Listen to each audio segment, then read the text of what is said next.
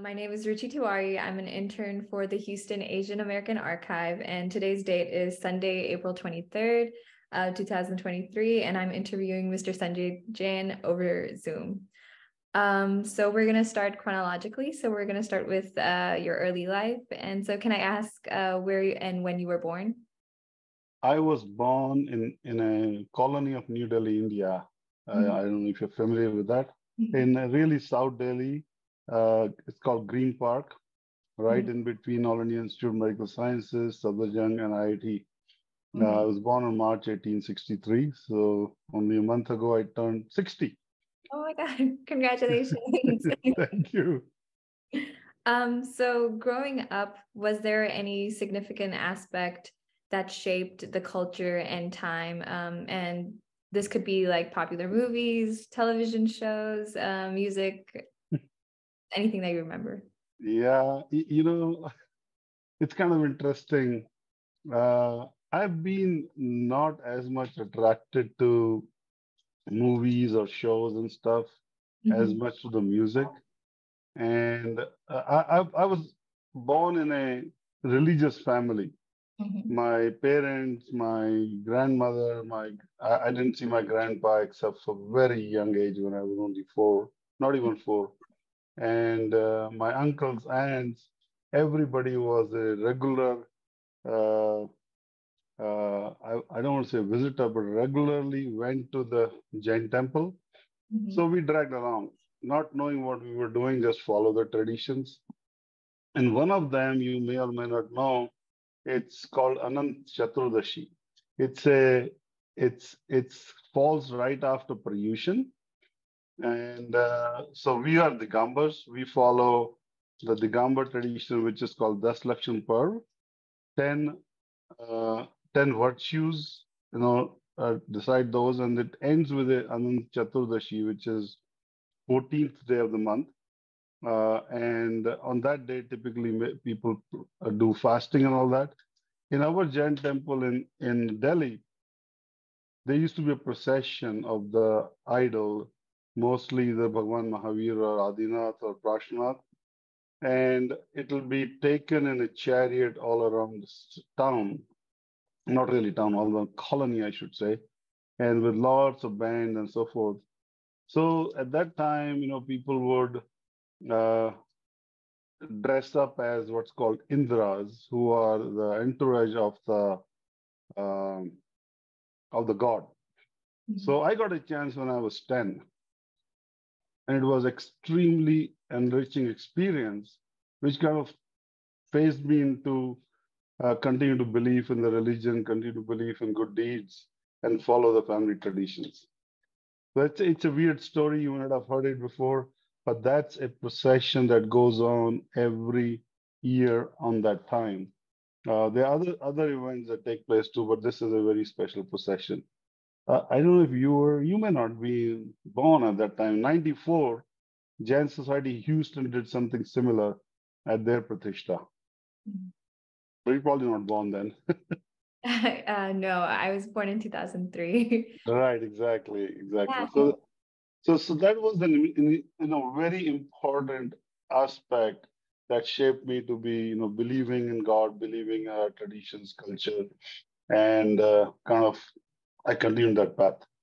Yeah, no, I totally understand that. Just it sounds amazing, and I know for me personally, um, like uh, I used to celebrate Janmashtami every year, so I remember like, right like the cultural events. So that you know, must- it's very similar. If you celebrate Janmashtami in uh, uh, George Brown Center, one year we brought a rath mm-hmm. to because I was involved with the Greater Houston. Mm-hmm. Uh, we brought a rath to take uh, Krishna Bhagwan on that uh, on that little tour of the big hall. so this was very similar, but there'll be about, I don't know, 15, 20 adults and children. So I got that opportunity, and this was like a prize mm-hmm. to get there. Yeah, that sounds really nice. Thank you for sharing. Um, so the next question, how would you describe the household you grew up in, um, including the individuals you lived with? I know you said a little something already, so if you could just elaborate. Yeah, so we were a joint family. The home was built by my grandfather in 1959, and that was, of course, before I was born. That was one of the four first four houses in Green Park. It was jungle. And I remember running there, going into the fields and so forth.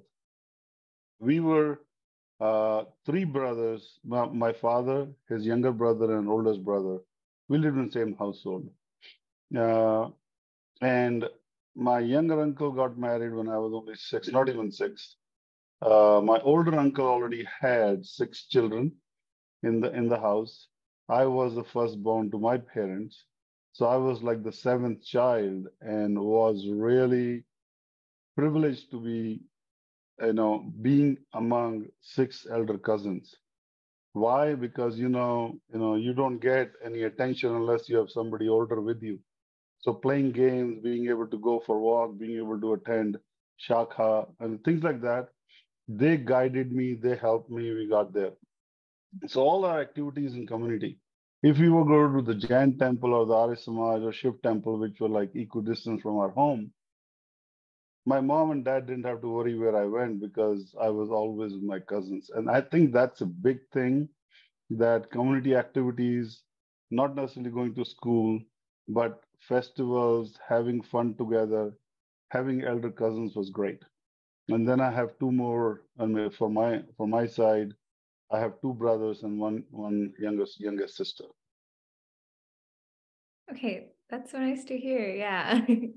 um, so I know you talked about your joint family, um, and you talked a little bit about like the traditions that you used to celebrate uh, at the Jain tem- temple.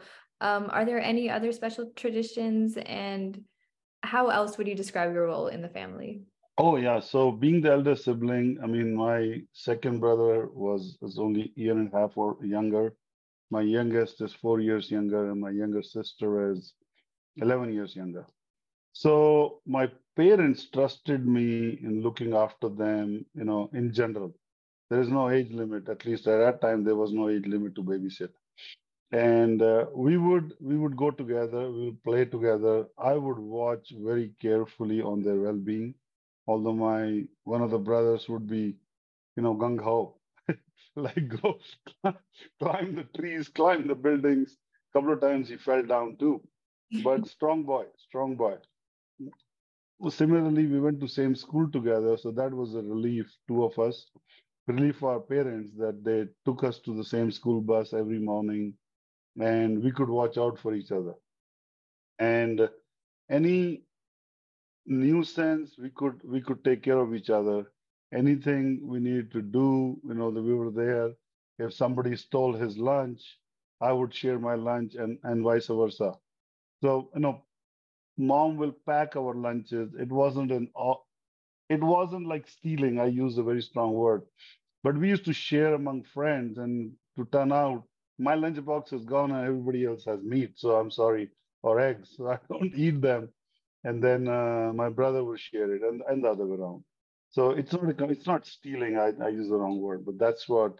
So we we grew up as a three brothers in the family who are pretty much equal to each other, but they all respect me even till date. And my parents had a peace of mind, so that was one. With my older cousins, they looked up to me. You know, we had community contests so whenever there was what was called intelligence test, it really wasn't intelligence. It was you know simple questions and then some general knowledge. Go okay, okay, you you teach us, you you let us practice for it. So we would come, you know, in top ranking among and, and bring home a lot of prizes like your dad has in the back. So hmm. we would we would bring on a lot of prizes with that because and we were known to be the experts. My younger one was really good in, in uh, sports, so he'll be the big runner. My oldest, second oldest cousin was like that too, big runner. So it was a very nice, you know, uh, together we were a very well-rounded family in all fields. Mm-hmm. Yeah, no, I totally understand like the competitiveness, but also the shared camaraderie within family. Yeah. Yeah. um, so uh, can you talk a little bit about your favorite holiday? Um, that you celebrated growing up? Yeah, you know, being in Green Park in a very cosmopolitan area, and uh, so close to all the temples. I'm really was I was brought up more like a secular than in a, a, a staunch Jain. Uh, having said that, I know I know the various scriptures, I know various prayers, I know things that we need to do as a Jain. So we would celebrate Holi, Diwali, Janmashtami, uh, Lohri. I mean, all of these festivals because our role of uh, uh, neighbors were celebrating all of them. And as growing up, our you know, it's like we just want to go where, where we have fun, right? and not uh, not necessarily that much religion unless it's a temple. Mm-hmm. So, yeah. so we did that, and uh, uh, among them, you know, Holi is such a fun festival. We forget all uh, all issues among each other, throw color, throw water, mixed color, and uh, so that was my favorite. And uh, we would we would you know, Mike, like I said, it was a fourth home. By the time I was born and was walking as a three year old, there may be another 15, 20 homes built. So we used to then play in the in the um, in those water tanks they use for construction. But Holi was my favorite.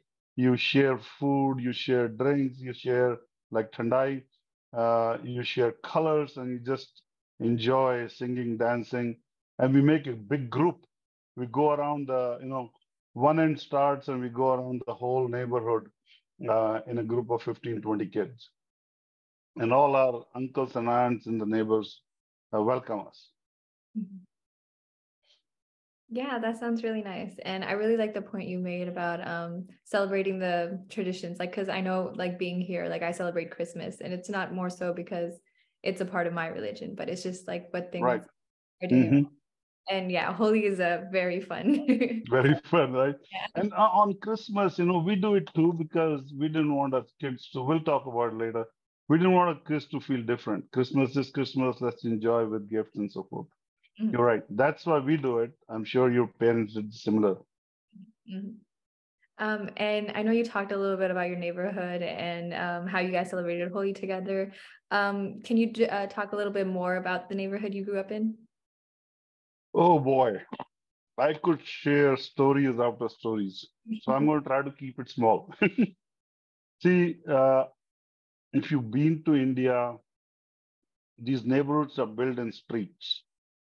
So really, we don't have addresses like over here, 1409 Horseshoe Drive. Addresses are block H10 Green Park, Main. So this whole street has two rows of houses across each other and we get to know our neighbors. Mm-hmm. At that time, population was very low, so everybody knew everyone. Parents knew everyone, kids knew everyone, and we were like a big team. So I, I kind of touched on construction. Oh my God, that used to be such fun. You know, after the workers are gone, we go in that little pool. It, it's no bigger than six by six water tank in which they put water for a constructing house. And we just dip in it, come home, take shower, and my mom's like, again. But she was such a kind lady. She accepted, but she told us, what are you doing? More than that, you know, neighborhood wise, we played cricket, we played field hockey, we played badminton on the street. So sometimes our older cousins, their friends will play badminton, will play cricket. All of us together will just find a corner end of the street, like a cul-de-sac, and, and play uh, field hockey. Very interesting part was when you're playing cricket, even with a tennis ball, you could hit some glasses, you could hit some windows and break them. Mm-hmm. I haven't seen the tolerance of that level ever since. we'll break our neighbor's glass. It could be me, it could be another neighbor, whatever and they'll come scream, but that's it. Okay, enjoy. They will not stop us from playing. We could keep playing. And that's amazing. They'll get it repaired in a day or two. We'll go clean it up because we broke a glass and say, okay, guys, be very careful. Don't hit into the house. But they never stopped us from playing. In addition, we played a lot of uh, street games, you know, like the traditional Kho, Kabaddi. I don't know if you're familiar with Pittu.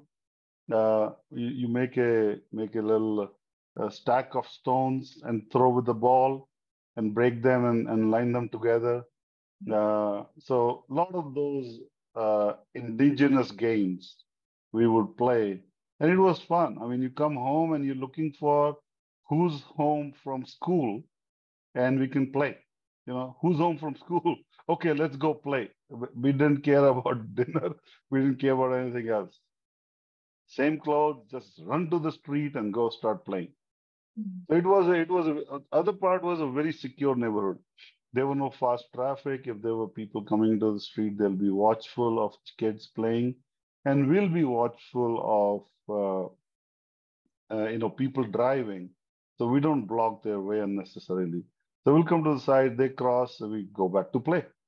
So it, it was a very, very nice, like a big family neighborhood. And and it's amazing, you know, how you get there. Uh, and not very easy these days, except for clubs or or community center in the neighborhood you go to. Yeah, it sounds like a very welcoming space. yes, it was. um, so my next question is, uh, do you have a favorite dish that you can remember from when you were growing up? Oh boy. See, when you don't get something, you always get attracted to it, right? Being vegetarian, I'm a foodie. You put vegetarian food in front of me, I'll eat it. Mm-hmm. Okay. So all dishes, chola bhatura, samosa, jalebi, tikki, chaat papdi, you name it. And the best of that was South Indian food, dosa and sambar. There was only one restaurant in Green Park which served South Indian food. There were two with at, when I was growing up, the two which served, you know, everything else, two sweet houses and it was not something that my mom would easily made at home. I think it was the lack of availability that attracted me so much. To date, I love it. like only yesterday, we were at an event and they they brought in, you know, sambar and dosa. I said, "Wow, this is amazing." So I still enjoy it. It's light. It's rice based. Well, that doesn't matter. I can eat chapati also, but rice based, rava based, or you know, also moong dal based I don't know if you're familiar with that. It's it's called I don't know the name right now. So I love South Indian food. Idli sambar. I could eat it seven days a week. It'd probably take me three, four months to get tired and say I want something else. That's amazing. I think yeah, one of my mom's favorite dishes is like dosa too, and uh, she's also comes from North India, so she like knows how to make everything else. But that's a really good point. Yeah. See, see uh, I think it comes because it wasn't available easily uh, when I was growing up. Yeah. Today it doesn't matter. You can go to any restaurant and get anything. Mm-hmm. But when I was growing up, it was like, oh, like dosa was a treat. yeah. Um. So now moving on, can you talk a little bit about your parents, um, such as their occupation and things like that? In the background. Okay. Well, my parents in uh, they got married in 1962. They were both graduates of Delhi University, which is you know prime university in Delhi and in India. And my mom's father, my Nanaji, was a chemistry professor in one of the very premier colleges in the college. My grandfather was a head postmaster of a very big post office in Delhi, Gol Market. And my dad did his MBA, uh, not MBA, sorry, MA in political science from Delhi College. And my mom, at that time, for a woman or a girl to do MA, she did MA in philosophy. Uh, she was also was part of a very religious family, as I've explained about my dad's side, going from my grandfather, grandmother, and so forth. And it's a big accomplishment to get a master's degree at that time in 19, I believe, 57 or 56. So my, my mom, after that, dedicated herself to the home, which I think is the biggest job. Like uh, Vedas say, one prasthashram is the uh, grasthashram, followed by one prast is the biggest duty of human. So I, I think it's it's a very very big job that she took on. She took care of us My dad was in the administrative service in the uh, in government of India. She, he he was in Indian Council of Ag- Agricultural Research, which is a primary body looking after a lot of stuff, including veterinary sciences and so forth. And he finally retired as a Indian Agricultural Research Institute registrar, uh, which uh, you know he really enjoyed that that role. As you as you grow up in there, you get different deputations, and this was one where he finally retired at. They were both very accomplished, you know, very well connected in Jain community. My father was also uh, featured in Progressive Jains of India, uh, which was written by another Jain who went ages, uh, you know, in the history to find prominent Jains. And my father and grandfather were both uh, featured in that particular book, which is still available on Amazon and in, in paper copies. Yeah, that's very interesting though to know. Um, so um, what were some values that your parents emphasized in your upbringing? Well, as uh, I, I I hinted a little bit earlier, they trusted me taking care of the of my of my younger siblings, and when I had younger cousins, my uncle also trusted me. Okay, if if something has to happen, ask Sanjay. Let's see what they need to do. Uh, but in addition, they they they instill the value of truth, family living, believe in God, do your work. You know, karmane vadiras vadikarasya. Uh, it's a Gita shlok. I don't know all of it, so I won't go all the way. Uh, but you know, do your do your karma. Results will come as the karma is done. Be kind, respect elders. I think there was a very big in our family to listen to elders. It could be a that that could be your sibling, your uh, cousin, your uncle, aunt, so forth. But respecting elders was a very big deal, and uh, participate. We we hardly argued with anybody elder. We argue among the kids. That's okay, but very little elder. We'll make fun of our elder cousins, but very rarely. I don't remember when we made fun of our uh, older generation, like my father's, you know, my uncle's aunts. It is just what they said is gospel. Try to follow it or talk to them, but not make fun or argue with them. So I, I think that was uh, a, a, a, biggest uh, virtue they wanted to instill in us, and they did. Yeah, that's very nice to know. And so uh, now we're going to move on to talk about uh, your college. Um, okay. So who was someone that you looked up to um, or were inspired by growing up or you saw as your mentor? Yeah, I think to answer this question, why don't I tell you a little bit about my college yeah, and right. what I did where, and then the answer will fall very easily for who inspired me. Okay. And the reason is it was the then the director of IIT Delhi, Dr. O.P. Jain. And I'll, I'll, I can tell you all about him, but you'll relate and the listeners or viewers will relate a lot more if I can talk a little bit about where I went to attend and, uh, and what I did there. Is that okay? Yeah, of course. okay.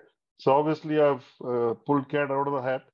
I attended IIT Delhi, mm-hmm. Indian Institute of Technology, one of the premier engineering colleges then, even now. At that time, there were only five of them. And uh, uh, it was like a lottery.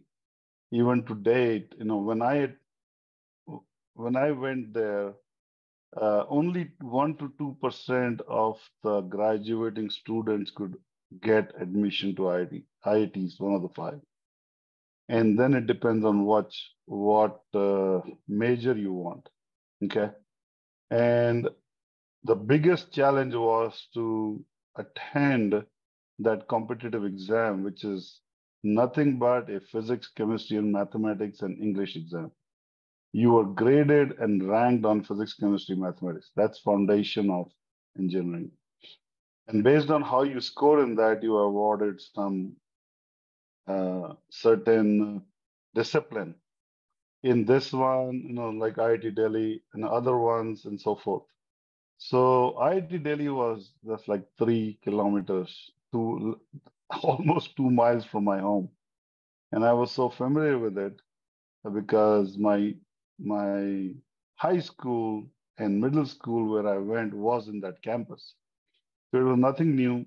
I didn't know where I was going. What is IIT Delhi? But I got in there, and it was a it was a prize to to get, and it was a joyous joyous day.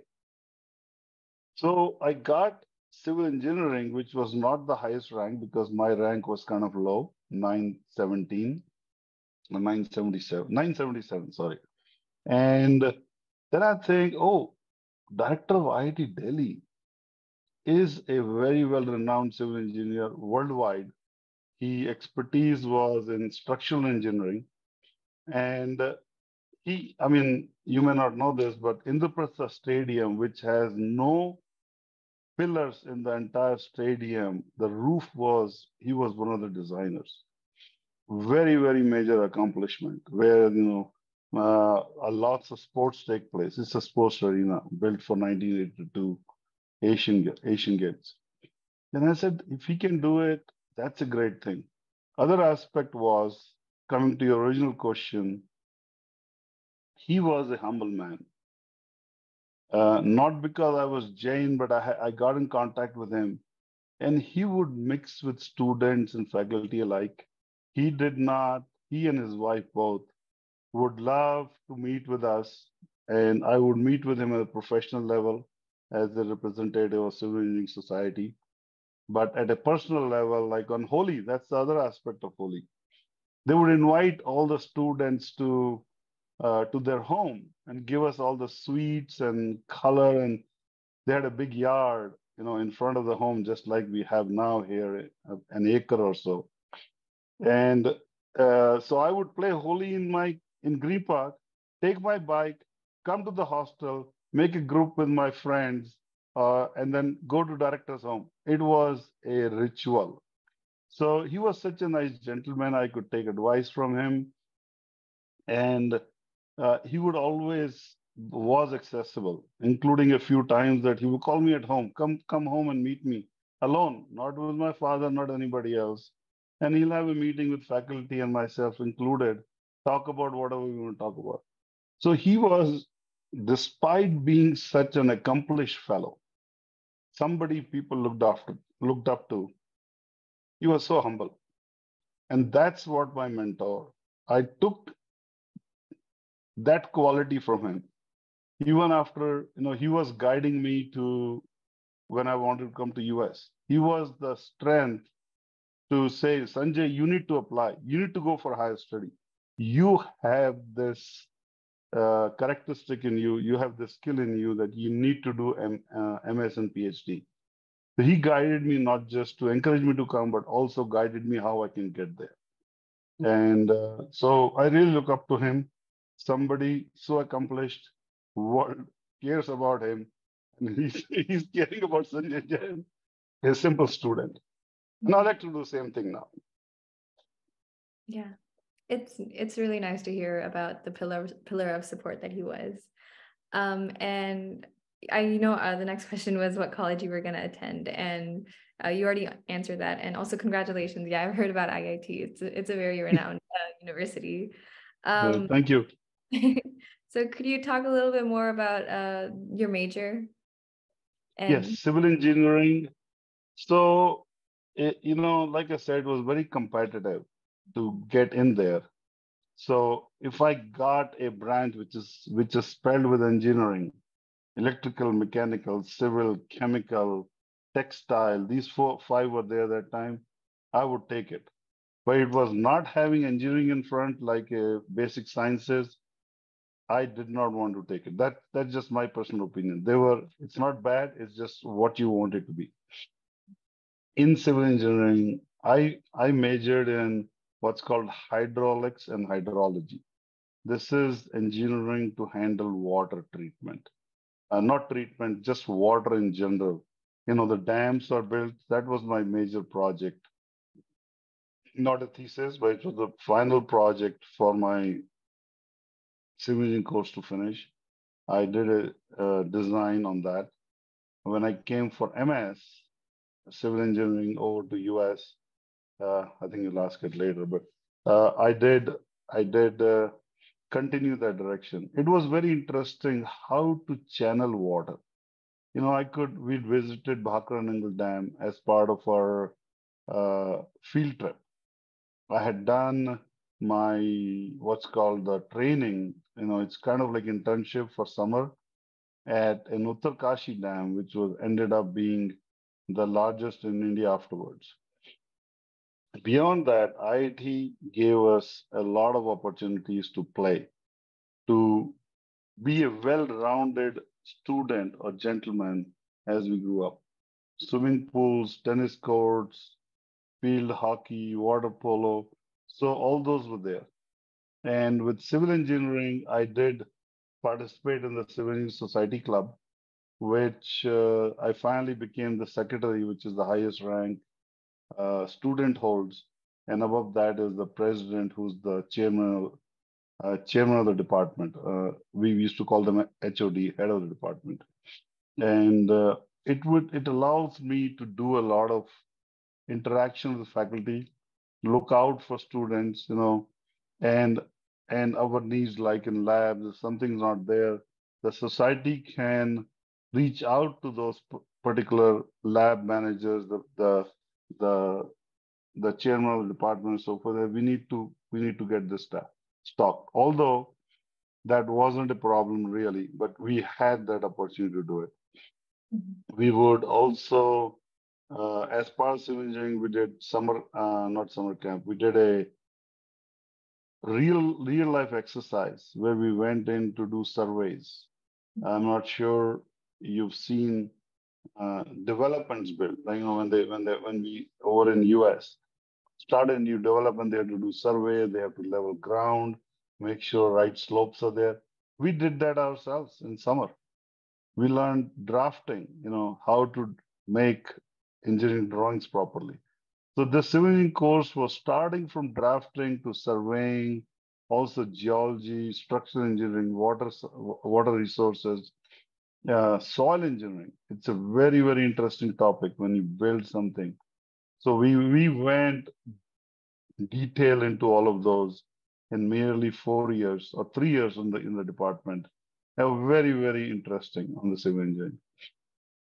Why I majored there, I told you it's a lottery system. I got it and I'm happy. That's it. Uh, people do try to change afterwards. I'm satisfied to be a civil engineer. Yeah.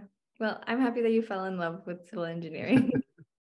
um, so I know you talked about uh, the civil, civil engineering club that you were part of, but were there were there other things that you participated in um, in clubs? Yeah, there was a national program called National Service Scheme. Mm-hmm that was to get students from high school to colleges to go serve the nation. And we'll get some funds from government, I believe, but we had a budget. We had some funds. So I thought that would be interesting. So first time I just attended, went there, attended their camp. Then I said, this is a great place to help somebody. So we used to go to a small village outside of a town called Gurgaon, which is huge now. It's a large city where a lot of IT is based these days. At that time, it was a small town and two lane highway going there. From there, we would go to a village called Kadirpur.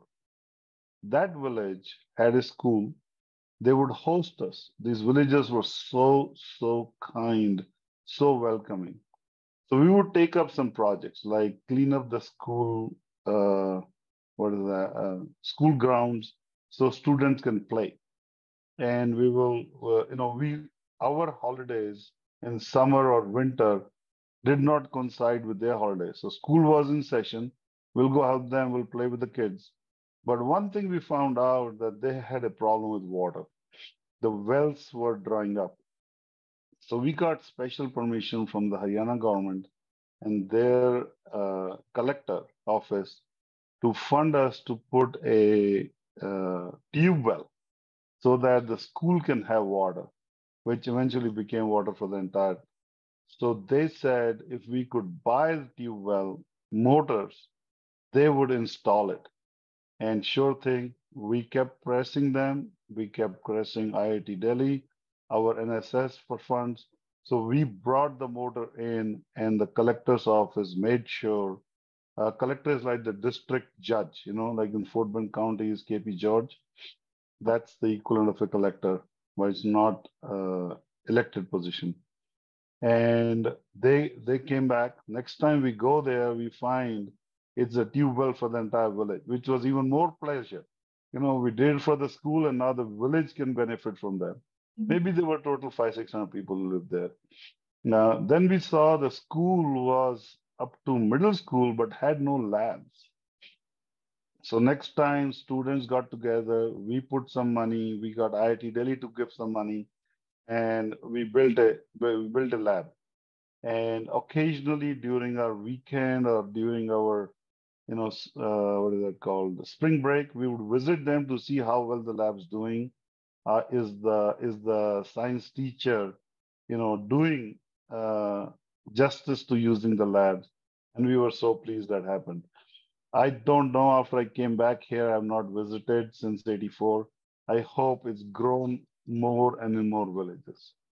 Mm-hmm. Those are the two primary areas, Secretary of Civil Society and this. Uh, other than you know representing my dom, which is called hostel in India, we had inter-hospital, inter-dom competitions. I don't know the name of the similar thing here. So I, I used to play field hockey for my dom. I used to play water polo for my dom, and uh, could not. We had very very good players in bridge, badminton, and tennis. So I couldn't get in that for the dom or IIT. Mm-hmm. Yeah, no, that sounds like we're uh, very insightful experiences. And we also have uh, intermural, like uh, intermural. Uh, Thank you. I forgot. I went to LSU and I forgot about it. Yeah. Intermurals. That's what it is.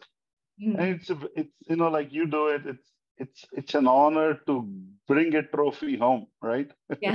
to your to your dome Yeah, like you, uh, I know in my right. college they have like banners, uh, and like they have like the year and like the teams and stuff. So definitely very. Oh, that's that's big. And nowadays there used to be a small plate.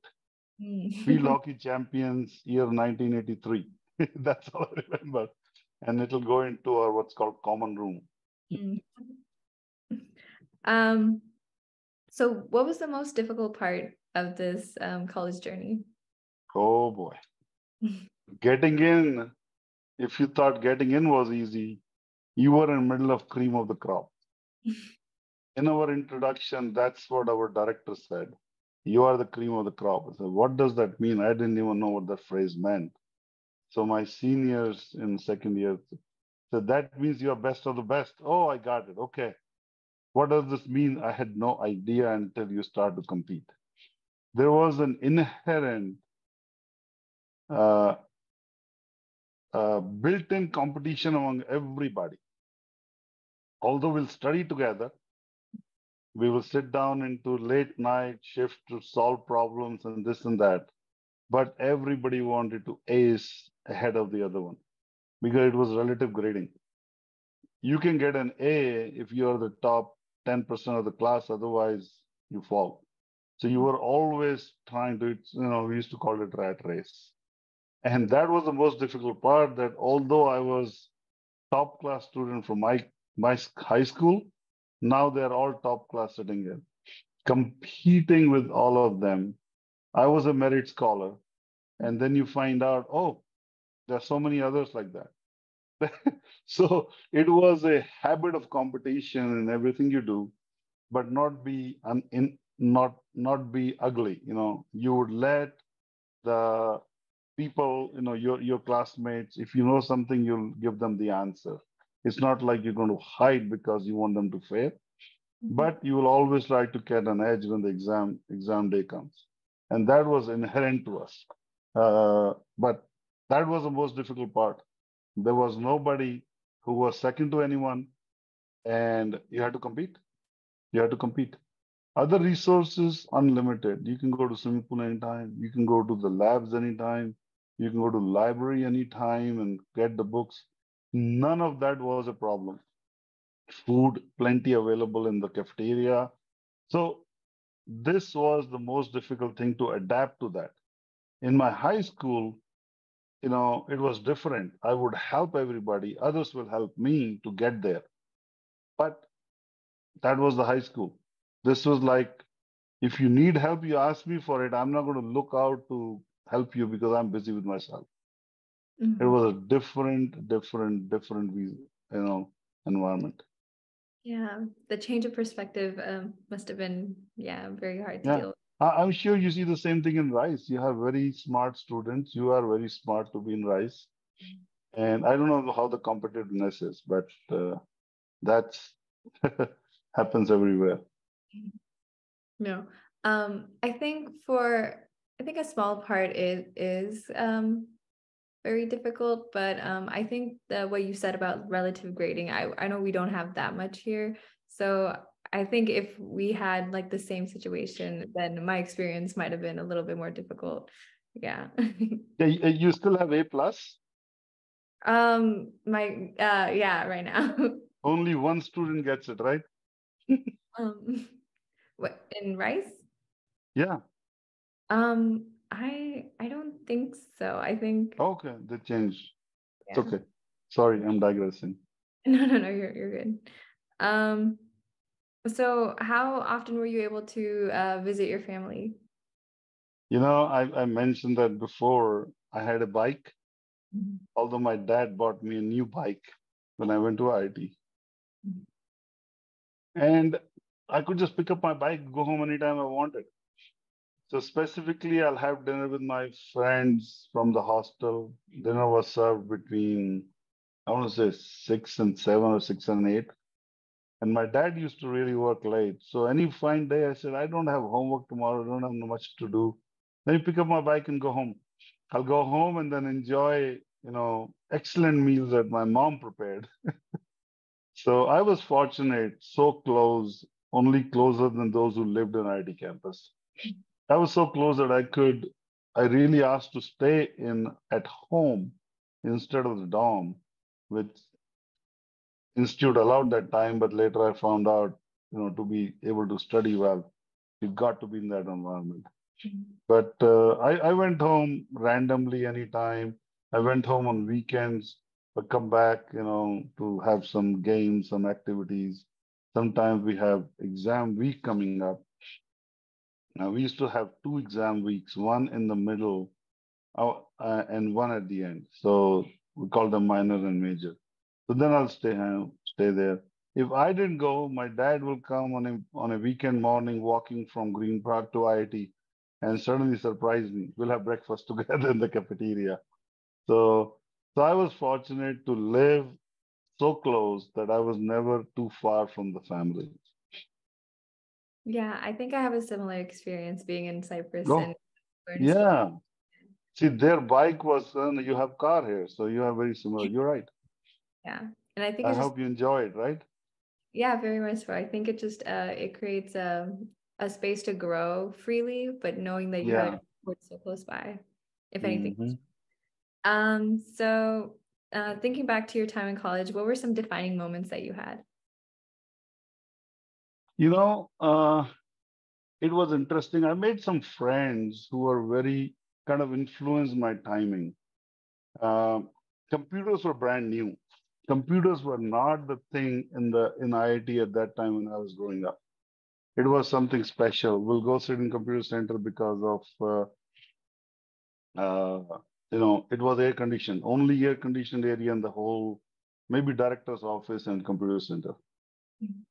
So I met somebody who was uh, doing MS, and he was son of the head of the department of computer center. I'm doing my programming, kind fellow. His name was R.K. Jain, Ravi. Uh, and he would come and help me because he could see me struggle. That was not my forte. I was an engineer. Mm-hmm. And he helped me. He would take me to, you know, to the back of the room, give me access. We used to do cards that time. No, big stack of computer cards, punch them, they go wrong. He he taught me how to, or he helped me understand how they went. Well, so so that was one thing that brought me closer to computers and programming. The other was being able to be participate in NSS. You suddenly appreciated how much you have which others don't, right? And and and and that's a you don't realize it what you have at hand. You really don't. But uh, once you see that, that was one.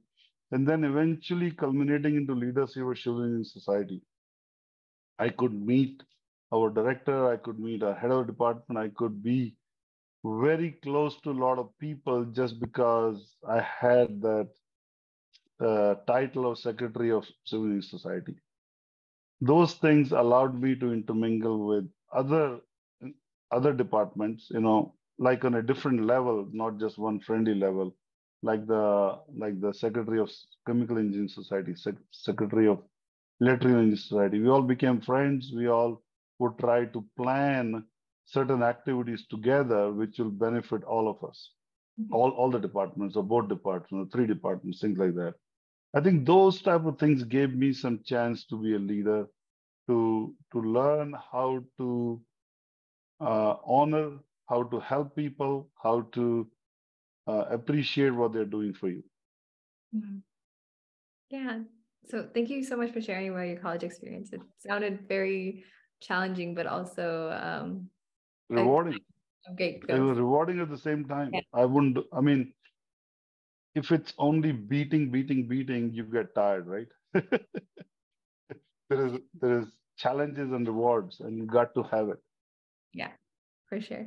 Um, so next, I would like to talk about marriage and family. So the mm-hmm. first question would be um, when and how did you meet your wife? Well, when is easy answer, summer of 1987. Uh, through my parents who organized a arranged marriage and what we call arranged marriage right now, uh, that was the only way marriages took place, right? Uh, uh, parents of boy, parents of girl will try to meet each other and say, hey, my girl, my boy is ready. Are you ready? and uh, and uh, they meet. But really, it's a longer story than that. In 1984, I came to US for doing masters in civil engineering. And with my interest in computers, I I, I did a my my my project uh, was a a very large program, which also assisted my my professor working on an almost IBM Blue equivalent computer, which is you know who cares about it now, which was which came to our, our campus in LSU. So we, uh, I took a break after I got into finishing that master. I got into computer science master's program in '87 was my parents' 25th anniversary. So I went there to celebrate their 25th wedding anniversary. and right after that, I arrived two days before. We had a great uh, a family get together. You know, my uncle, my my brother, sister. We all we all really celebrated that together, like at a family level, not a big uh, celebration like we do here with hundreds and thousand people. But they had something else in mind. They had already started to look for a suitable match for me and basically said, You are going back married if possible. They didn't enforce it on me, but they said, You got to give it a shot. You got to try hard. You are alone for three years. Next time you come will be another three years, and we like to see you married when you go back. Okay.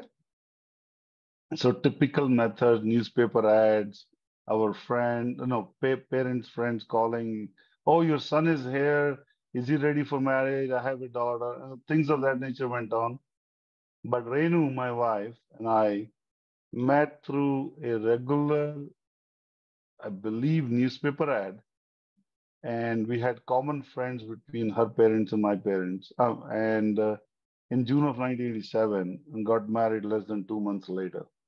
It was, you know, let's go meet, let's go find out. And really, hey, uh, I'm ready. I like to get married to her, but does she want to? and, and that was tough because at that time girls won't speak openly uh, in uh, among the among the parents, but Renu was very uh, respectfully open. Okay, she would say, you know, my I still remember my dad asked, uh, "Are you okay marrying Sanjay?" And she goes, very quiet voice, yes, and head down with a you know little respect for him. And so then my dad told her dad, why don't you ask in a different room so she's not intimidated?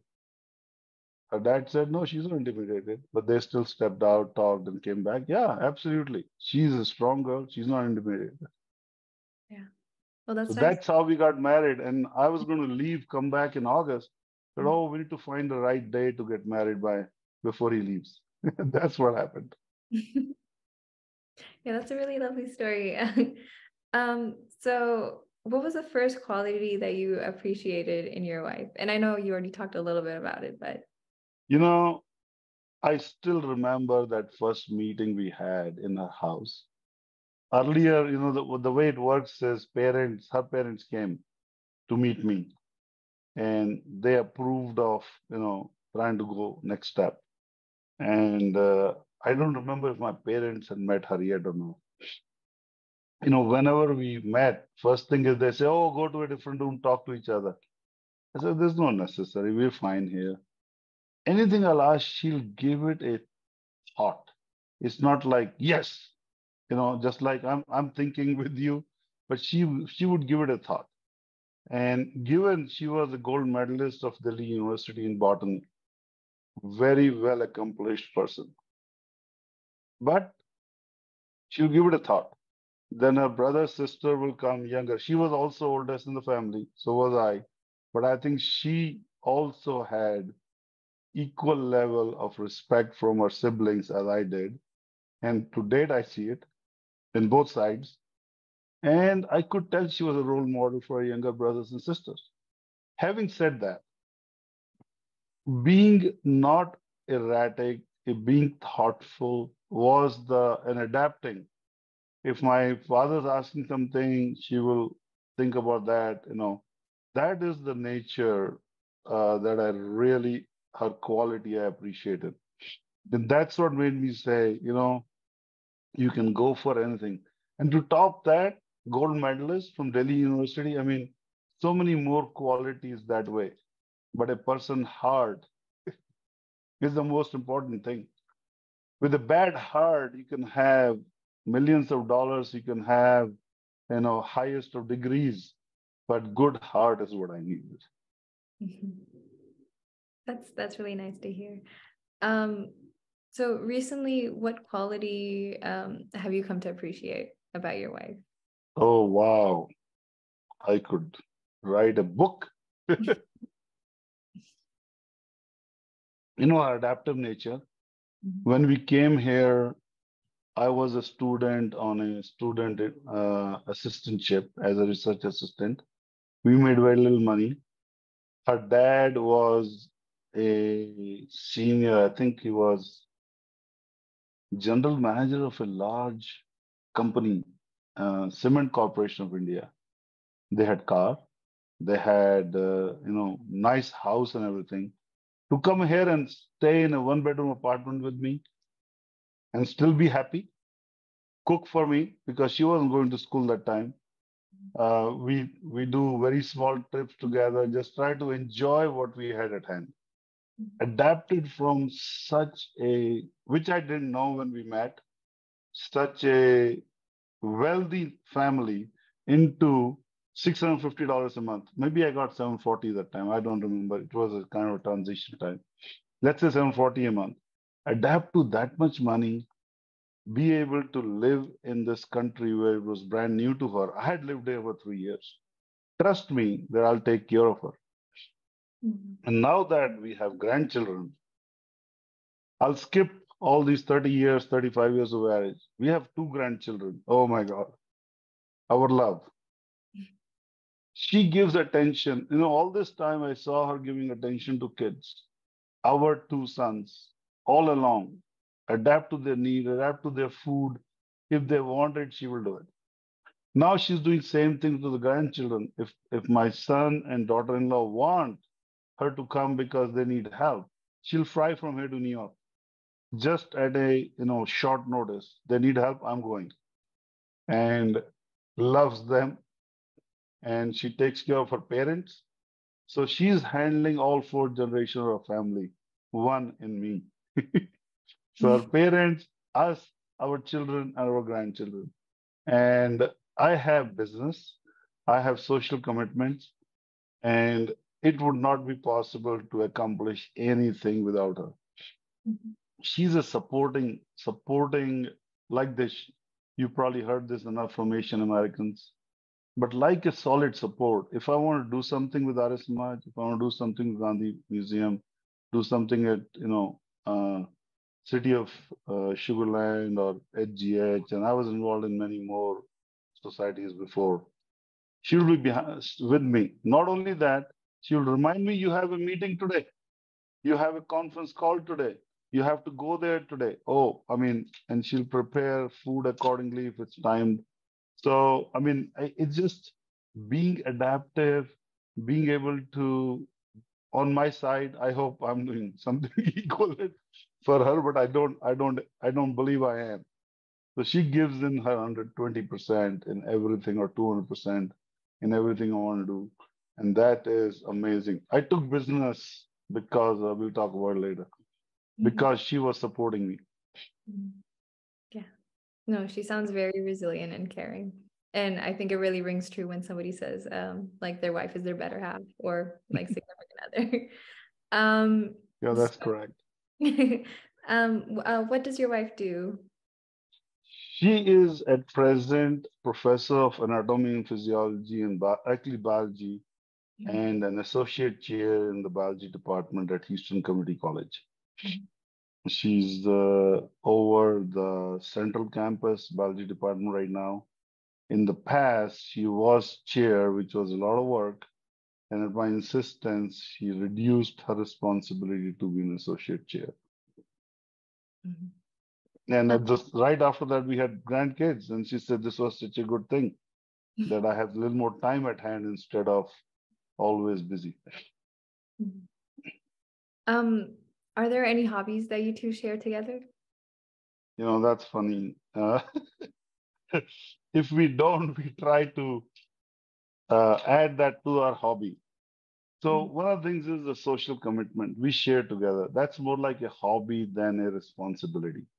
Mm-hmm. But other than that, she loves cooking, which if I stay out is better, right? Uh, we bike together uh, on a tandem bike in our neighborhood, so everybody knows us as a, as a bikers. But going back in time, you know, we love in, uh, traveling internationally. We love traveling in the U.S., Canada. Mm-hmm. We've been a lot of places together because she'll make the itinerary. This is where we should go next. I'll agree or disagree, and then we'll find the next place or we'll go there. And we've had some very, very beautiful trips with us alone. I mean, just two of us with family, or sometimes a few couples. Mm-hmm. So we share those hobbies a lot. I mean, this is beautiful that we can do that. Mm-hmm. Yeah, the tandem bike just sounds so precious. yeah, it was. It was my way of uh, trying to get her. I mean, she she does bike riding fine. We have a bike at home too, which I ride alone myself. That was mm-hmm. my way of exercising, and she enjoys it too. You know, mm-hmm. and and then swimming. Once we move to a home with swimming pool, she starts to you do uh, what is the water aerobics. Mm-hmm.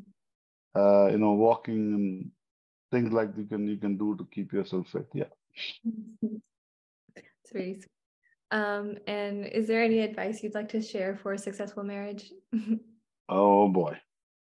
I, I think, you know, among Asian Americans, uh, uh, this is this is common, I believe, I hope. You know, patience and trust. We got to take each other uh, with a lot of trust and believe in each other. Otherwise, it's, it's just not going to work out. If I did something, don't think I did to harm you, right? But most importantly, in my mind, take it granted that you only get married once. So even if you think it's a mistake, do it to make it happen right. Mm-hmm. Whatever two individuals are always going to be different.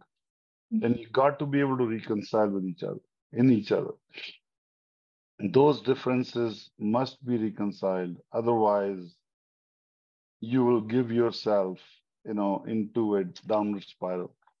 So I think the patience in each other's doing, trust in each other is most important. But on top of all that, commitment to each other. Mm-hmm. You know, when I got when we got married, it was a gospel that this is it. Good, bad, or ugly, you're going to make it happen. And the ugly becomes bad and bad becomes good when you try it. Mm-hmm. But if you don't try to make it happen, it stays where it is. Mm-hmm. Not everything will be good. You'll have challenges. And it is better to handle that accordingly as against, uh, uh, oh, I have a choice. So for successful marriage, you know, commitment to each other is the most, most, most important thing. Mm-hmm. Other than that, what I also feel when I talk to my children, if our lifestyle is similar, okay, I'm not saying anything wrong with different lifestyles, but if I can share my plate with you, what I eat, if I can share what I believe in, then it becomes easier for us to enjoy the life together. If not, you are doing more adjustments to learn each other. And it is not to say only girl will learn what's for what's the guy's thing, or the wife or, or the husband will learn what's wife's thing. It is just both have to compromise and move forward. Mm-hmm. Yeah. Well, I it totally makes sense. that marriage is a compromise and a collaboration. Yeah. Yeah. Um, so talking about your kids, um, how how many kids do you have, and uh, what do they do? I have two sons. Uh, both are B- BS from Northwestern University, Evanston, Illinois.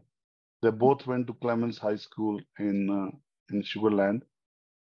And my elder son is a strategy consultant advising private equity and corporate clients. He lives in New York City. His wife, my daughter in law, is a doctor completing her REI fellowship. They have two young children. One's two year old, two year and almost five months now. And the daughter uh, is younger, going to be nine months next in two weeks.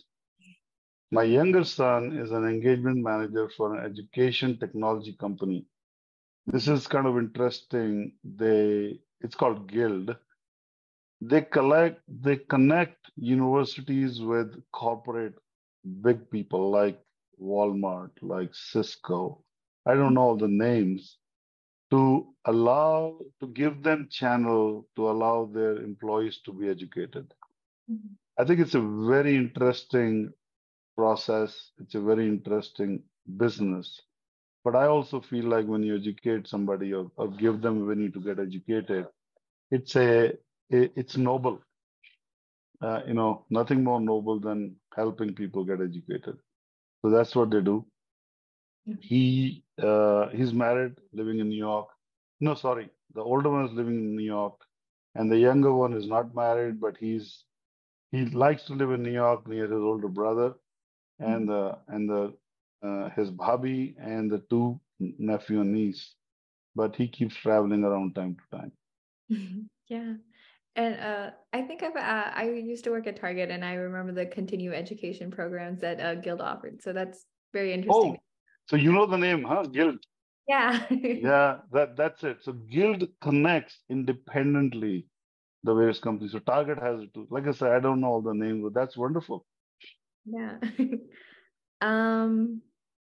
So, what differences and difficulties did you find raising your children in the U.S.? You know, uh, it's it's kind of funny. You can take your children to school and they learn on their own and live on their own. You feed them, you make sure they go to school in time, and that's done. And and this is a very good education system, right? There is a school in our neighborhood. They can bike, they can walk, you can drop them, and that's it. But I think the main, main thing was how do they feel a proud Indian or a proud Hindu or a proud Jain? How do they maintain a balance between our traditional values and what they're seeing in their friends or classmates? We used to have a lot of discussion on that. Uh, to the extent that why we don't eat meat. So, and they understood why not. To date, we are all vegetarian. The whole family is vegetarian, and uh, uh, you know they know Namokar Mantra. They know our traditions, Diwali Puja, and all that stuff. But the tough part was to get there. You know, it is it is not easy to blend when you are already brown, you already look different. You don't talk different because you're born here, but your parents talk differently, different accent, and still trying to be one of those in the class. So it's not, it's it was tough, but we did our best to get them where they can feel they're part of the society, they are no different than other classmates, but they are diff- they, they understand the diversity and they they honor and respect the differences they found. Mm-hmm. Yeah, that's very nice to hear that you guys had discussions and that you were able to see from their point of view and make sure that they understood like their place. Yeah. Um. So, uh, what has been some of the proudest moments um for you as a parent and a grandparent?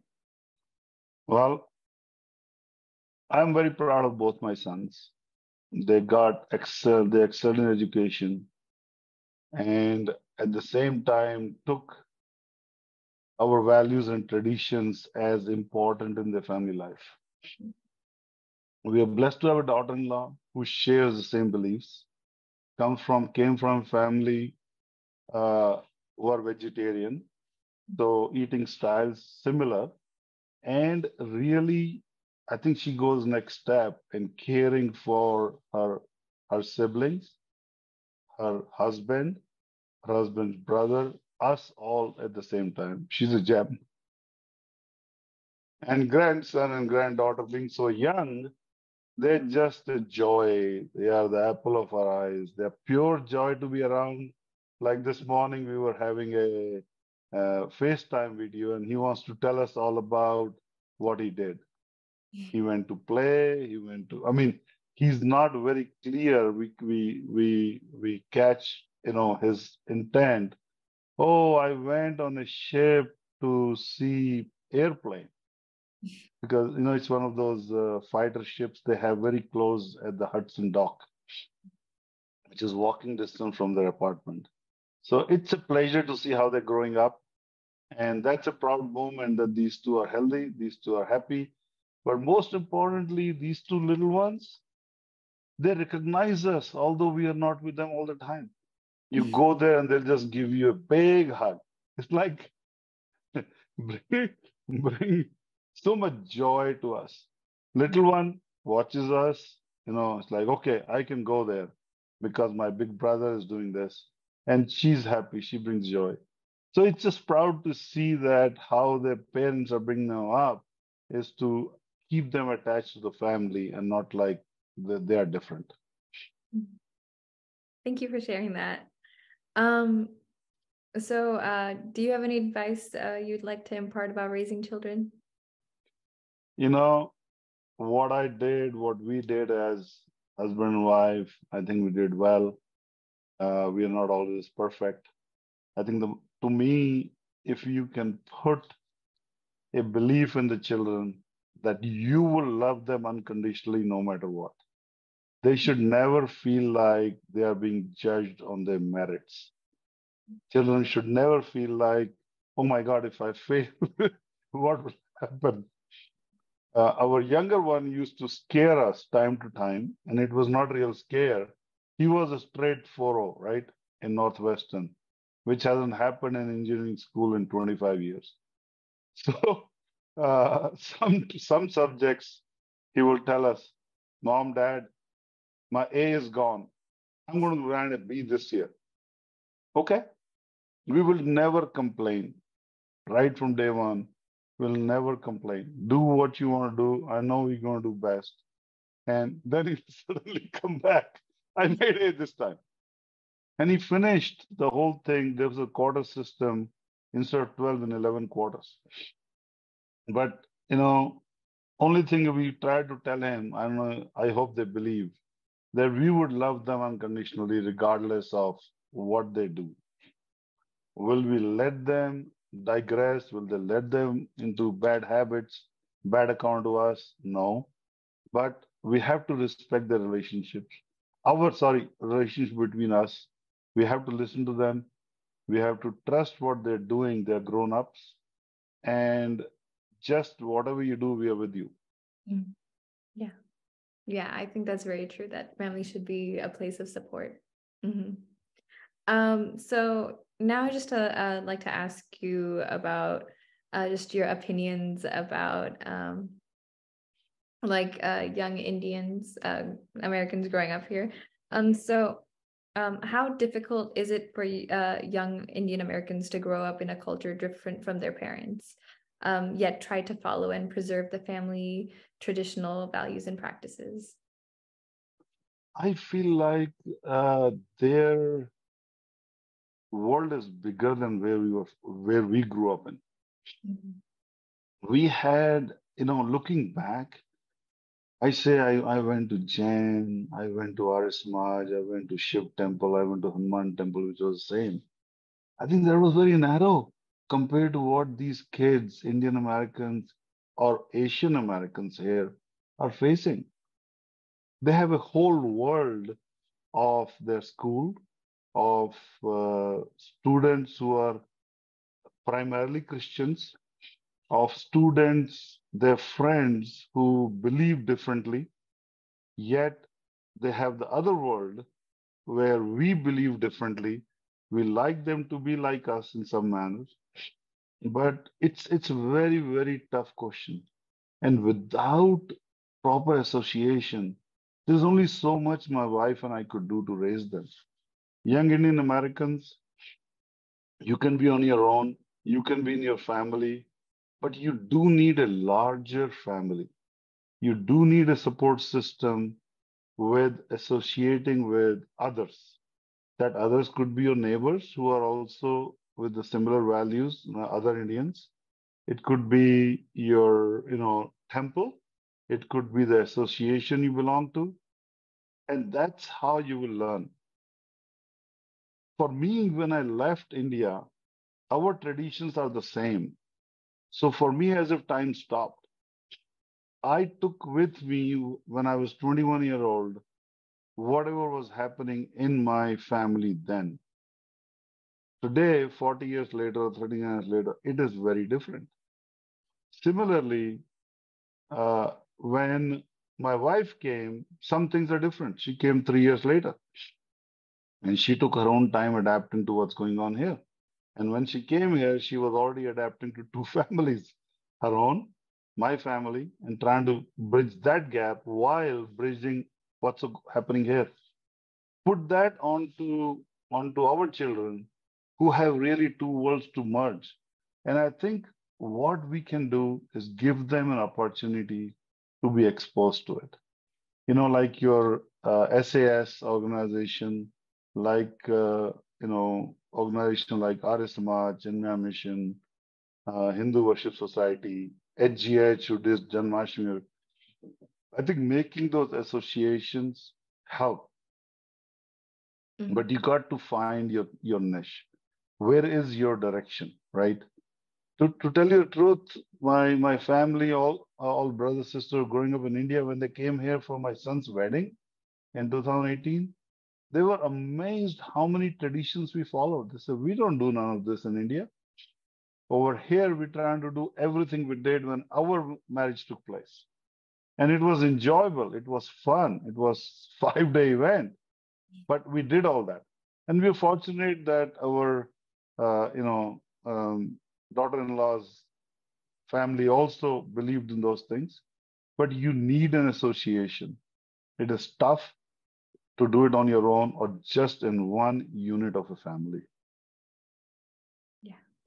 Um, yeah, I really empathize with what you said. Um, Uh, I myself, I um, I grew up going to Hindu worship society, so I remember uh-huh. I, exposure played like a big part in connecting with um, like the larger values and traditions. Right, right. Otherwise, it becomes tough. I'm sorry. I got track of this. Um, and then the next question is um, from your children and grandchildren, do you consider the challenges faced by younger generation of Indian Americans um, less than when you were first immigrated to the US? Um, if so, what do you think contributed to uh, less challenges today? Um, likewise, if you think the challenges are not necessarily less, please elaborate. Yeah, so I, I think it depends on what you consider a challenge. One thing we already talked about, two worlds trying to trying to merge and stay in the middle, right? Do both things, accept right things from both. I'm sure if you asked my children, your age group, there'll be some different answers. And I think what we've been able to instill, and I'm going a little bit to that culture and traditions, today to our children or in last 30 years to our children, as they instill the same things to their children, it will start to reduce, right? In absence of an association where they can go weekends to Sunday school and kind of get reinforced, sit in like minded people. At that time, when I came here, the challenges were different kind. Uh, Indian culture, I didn't expect will have any. Just kind of work it out. Uh, because American food will be the only thing available. Festivals, good luck, do it in your own house. And really, we we used to get together as a group. So when I came here, there was a uh, sorry, I'm I'm digressing a little bit. Uh, so the challenges then were getting good food outside, otherwise cook yourself. Uh, if we wear Indian clothes, which is all we came here with, except for shirt and pant, we're looked upon differently. Since then and now, and even 15 years ago, a lot, lot has changed. City of Sugar Land Mayor did Diwali at the City Hall. Big festival in front of the City Hall, you may have known or not. It was in mid, I want to say about 10 years ago, 15, 10 to 12 years ago. Uh, growing up in US, you know, now they have lesser challenge because they're learning American accent. I had the challenge to take English as a second language, try to learn the accent so people can understand me, right? Mm-hmm. Uh, wearing formal uh, wear, you know, no, at non-Indian events. Today you can wear them casually. Uh, I remember my son wa- was the speech winner for high school students for citywide speech contest. Uh, and he presented his speech at the Houston City Hall in the audience of thousands, wearing festive Indian attire. Mayor was in presence. It was not unusual. If I go back and I do same thing at LSU, it'll be looked at a little different. We had we used to think about going backwards, you know, what ask other students, ask our fellow students, is this okay to wear? Uh, main positive these days is availability of vegetarian food. When I came, eating out meant a cheese pizza, a bean burrito, or a veg sandwich, and especially asking them, make it without meat, don't take it out. Today, a lot of vegetarian food is available. We have vegan has become a big, big move for good health and also animal protection. So I, I think that has helped. So that challenge is less, but they have the other challenges we talked about earlier, mm-hmm. blending the two societies together. Mm-hmm.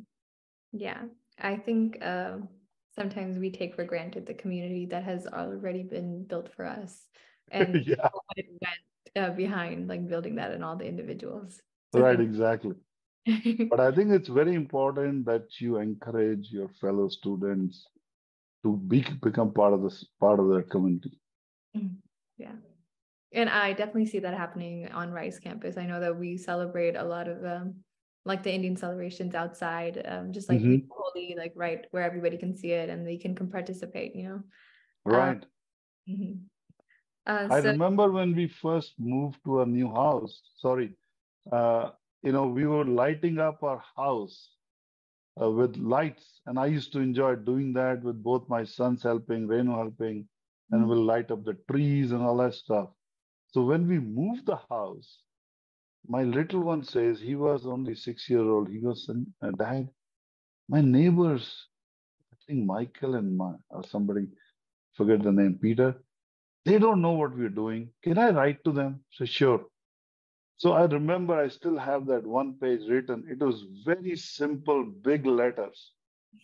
We are celebrating Diwali, our festival of lights. Hope you don't mind. And he put that note in a in a in a report cover, went door to door showing it to our neighbors. So because we were new in that neighborhood, we didn't want them to feel who are they, what are they doing. And he felt comfortable walking the street with, you know, our cul-de-sac area was about 10, 12 homes. Mm-hmm. He, he showed it to all. He said, this is what we're doing. That's really sweet. um, so next, um, I would like to talk about your immigration experience. Um, so when did you move to the US and how and uh, why did it happen? I think I touched on it earlier. Uh, after graduating from IIT Delhi in 1984, the preparation started in 83 when I was encouraged to come to US for higher studies. So I got a position, I mean, acceptance in many colleges, but in many universities. But uh, big deal was, do I have an assistantship somewhere? And one of the professors in hydrology, a world-renowned professor, he offered me a research assistantship where I'll be working in research in the same field that I want to do my graduation in, and I came here to LSU in 19, August 84. Um, yeah, thank you. Um, and so what was your first impression of the US? It was very interesting. Uh, I landed in uh, JFK, airlines called Pan Am used to give the best rates to students. And my connecting flight to Baton Rouge via New Orleans was already left. It was late. Pan Am was late. They took such a good care. They gave me hotel to stay, already arranged, food vouchers to use in the hotel, transportation to the hotel, gave me direction how to get there. And so I tried to follow direction, get out to where I can take my transportation. I, I don't remember if Pan Am had a bus or they arranged taxi or something very scared in new area with one suitcase, one roll on, one backpack. You know, where am I going? What is happening? Never been here. Very comfortably got into a hotel in Queens. I wish I, I took that note down, but I don't know what that was. Completely confused, trying to talk to people. Where can I get this transportation? And they don't understand my accent. But what you would not have felt. People were so caring and kind. If they did understand me, they'll find somebody who can understand. Hey, he's looking for something. What does he want? And that was amazing. And so my first impression was very kind. People want to help each other. Trust was a big thing. I could leave my suitcase at a point, walk somewhere, not to worry about being stolen. That too at JFK, which I know now. at that time, I didn't know. Mm-hmm. Very bright country, lots of lights, lots of cars, buses. So, you know, it was like a different world coming from, although I came from Delhi, it was a different world. Yeah, that's nice to hear. I also just recently went to Baton Rouge um, and I was in the area. So, yeah, it's a oh, wow. Okay. Yeah. Mike the seventh, I think. Tiger. Yeah. um, so um, did your family move with you? Or no, I, I came alone. Yeah. I talked about my wedding afterwards. Yeah. Um, so what were the challenges uh, that you faced? I think it kind of goes back to some of the things I talked about earlier. Uh, you know, having Indian you know, being able to eat what I was used to eating, Mhm. being able to find in groceries. Mhm. But we were fortunate as came here, you know, students usually uh, go into one one kind of a apartment complex or two. So there was a varsity village and a Tigerland. And uh, I found some people who from International Students Office uh, decided to host new students coming in. And these were Indian students from before. And they will take care of us. They'll help us find an apartment, find roommates. So three of us got into a two bedroom, one big room, one small room apartment. And then they helped us find furniture if they could. We could just sleep on this floor. We didn't have no money to spend on furniture. Mhm. Uh, but the community situation got resolved. At that time, there were only 180 students in the LSU, believe it or not. And they will come together, have a Diwali celebration in the union. They'll also have a gala uh, to bring in our friends and local fam- local families and so forth, where all the aunties help cook, guide the guide the cooks how to make Indian food. But something that helped me a lot was Indian, sorry, International Students Office, ISO, had a program called Host Family, Mhm. where young, uh, where different families would like to adopt like-minded people. Mhm. They connected me with a gentleman, Steve Wallace, who is a civil engineer at that time practicing, and because I was coming for civil engineering, and his wife was an artist. I've lost touch with them after they moved a few times. And they took such good care. They'll invite me to their home once or twice. I mean, at an event, and then or or without it, hey Sanjay, you must be bored. You've been alone. How's the exams? We'll talk often. Made me feel very good. They helped me introduce the American culture and helped me make comfortable uh, to to live in this society. And that was a great benefit in addition to what I was trying to do for myself, you know, try to find Indian food, this, that. And he'll visit me sometimes from, you know, his office was, I think, downtown Baton Rouge. He'll come by and say, Can we help you with something? Help me take groceries, my roommate groceries. So, very kind gentleman, very young. I was 21, he was probably 28, 29, recently married. They had a baby daughter, Brittany, was born, I believe, same year, year later after I came here. And they helped me. And hmm. they were like, I, I would go to Thanksgiving dinner with them. I had no idea what it is. Hmm. And they say it's a potluck. Oh, I want to make something too. They'll encourage you to, you know, if I want to, they'll encourage me. Same way that I talked about Mike, you know, what we should do with our children. Uh, I remember one time I took a broccoli casserole. I had to find a recipe. So she brought me a paper. Sanjay, this is what you want to make. It's simple. It's with rice. It's in microwave. This, that. I said, great. So that, they were very kind. And the community I found uh, locally, but discrimination was a big deal in LSU. Not LSU, but in the Baton Rouge. It may not be there today. I was I was sitting for a car uh, repair after I got a car. Some gentleman comes out, you know, also waiting for the same. Talks to me very nicely. Then he says, "So when are you going back to your country?" Oh, uh, I don't know. I'm still in the second year of studies. Probably after I finish. Okay. Uh, I, I went to doctor. You know, there's infirmary we used to call it on, on the campus, LSU hospital. I was sneezing. They go, no, there's nothing wrong. It's just allergies in here. When you go back to your country, you'll be fine. Mhm. So they're already, already, already telling me those things. Mhm. Yeah. Well, I'm happy that you were able to find a community, but um, yeah, it's it's hard to feel included when there's people that don't see you as like a Yeah. yeah. I'm sure life is different 35 years later, almost 40. Yeah.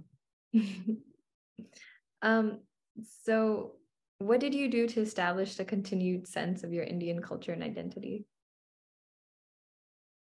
Uh, I think if you go back to school, we used to find, you know, I told you what LSU Indian Association did, just 160 students, but a lot of support from all the uh, working Indian community.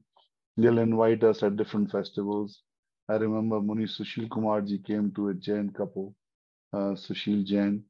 He invited me. He was a friend of my father's friend, and he said, Come on over. They come pick you up, they come drop you. But as we moved to Houston, it was a different scenario. You know, lots, you know, first thing was Hindu Worship Society, we found the temple.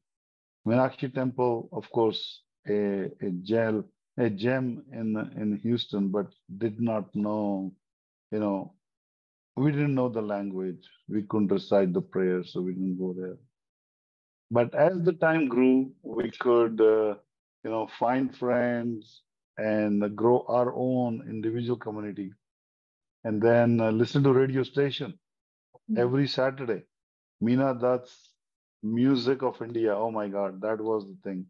And I think there used to be a TV show one hour every Sunday uh, of some sort, and we would just stick to the TV and watch that, trying to stay connected. Always in communication with parents and family at home. At home, because Renu and I were the first two from our families to come to US, and that's what we ended up trying to bridge the gap. And then rest is history. Arya Samaj, Gandhi, Gandhi Museum, Gandhi Library, you know, of Greater Houston, so forth. Yeah. Um, yeah, it's very nice what you talked about. I know um Rice also does um like they hold um like they do uh a cultural fest called the Maka where they like um like students from the SAS they like put on a show and then we also invite people from the community. So it's Oh nice. nice. Yeah. Um and so uh were there any cultural shocks that you experienced? Uh, I think uh, some of the things we talked about, you know, I, I mean, I'll, I'll talk about something. We were not used to boys and girls hanging out together so close. that was different. Uh, football games was, you know, very much not like cricket. These stadiums are way larger, uh, lots of fanfare, and culturally, I, I think grocery stores were different, you know, uh, people so free, people so, uh, at least Baton Rouge, small town, very friendly. You cross each other, they go hi. And first time I said, why is telling me hi? Look back, wait. No, we're going. It was just a greeting, very mm. nice greeting. Have a good day. You know, you go to a grocery store and say, okay, have a good day, sir. I mean, why? But these things we got to learn. This is the way of life here. Be kind, be polite, and that's what we do. So it was very, very nice to be able to handle, you know, learn those things.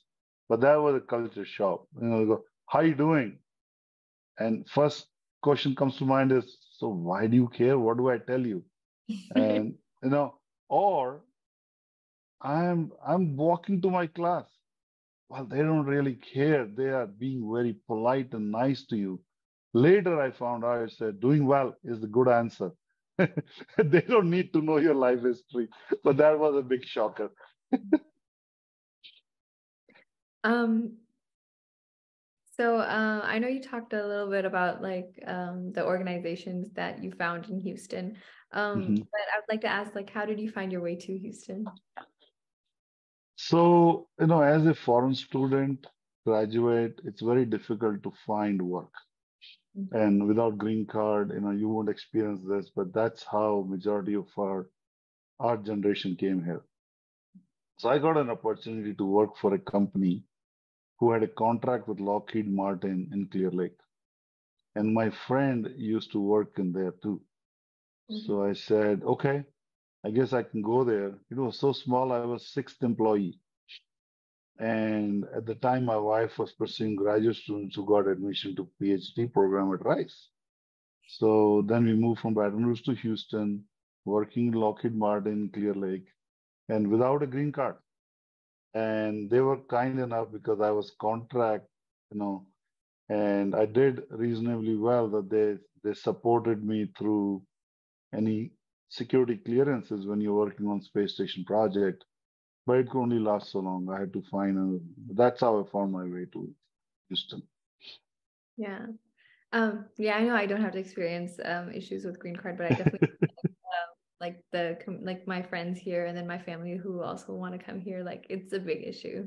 Yeah. Yeah. Um. So, what about Houston? Did you find interesting? Um. These. Oh like, boy. Big city, lots of Indian people.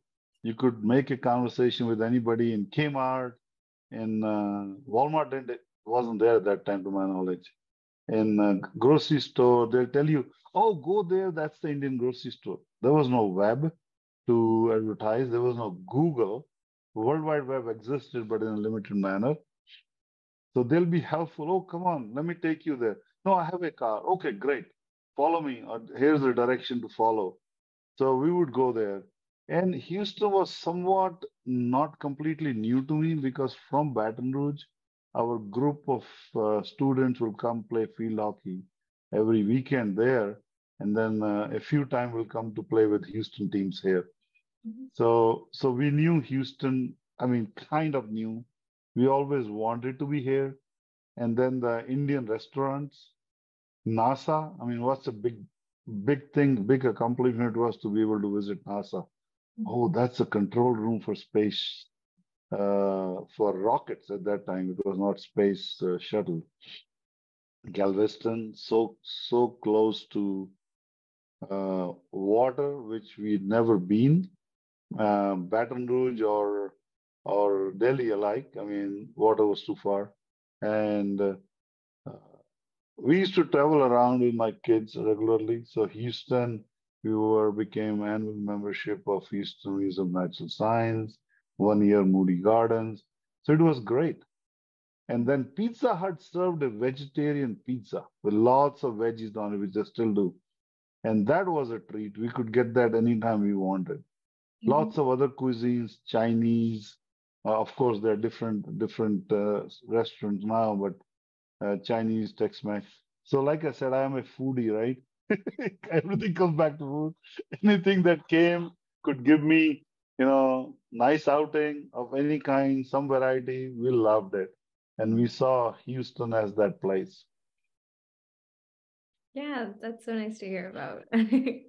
um, and can you? I know you talked a little bit about the communities that you found, but can you elaborate on those?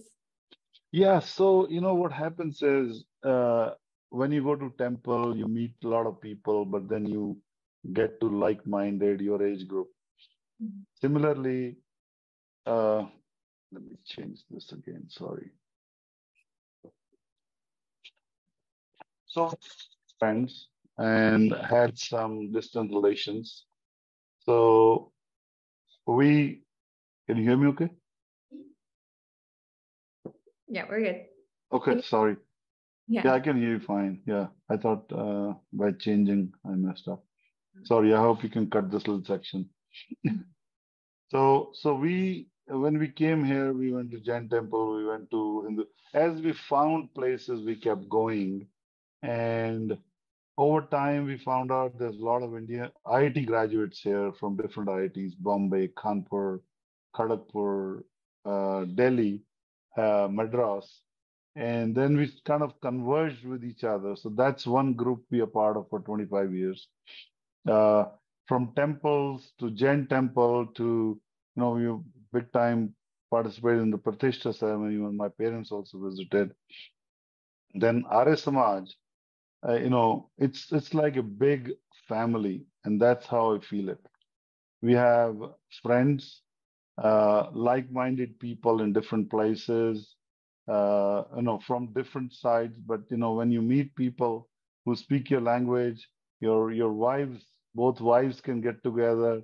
The kids enjoy each other's companies. Those friendships grow. So these are all other Indian immigrants whose kids are around same as ours, and we found a community, a big supporting structure to each other. And it was primarily due to religion due to our eating styles, majority vegetarian. Some somebody working with me became close just because we have the same background.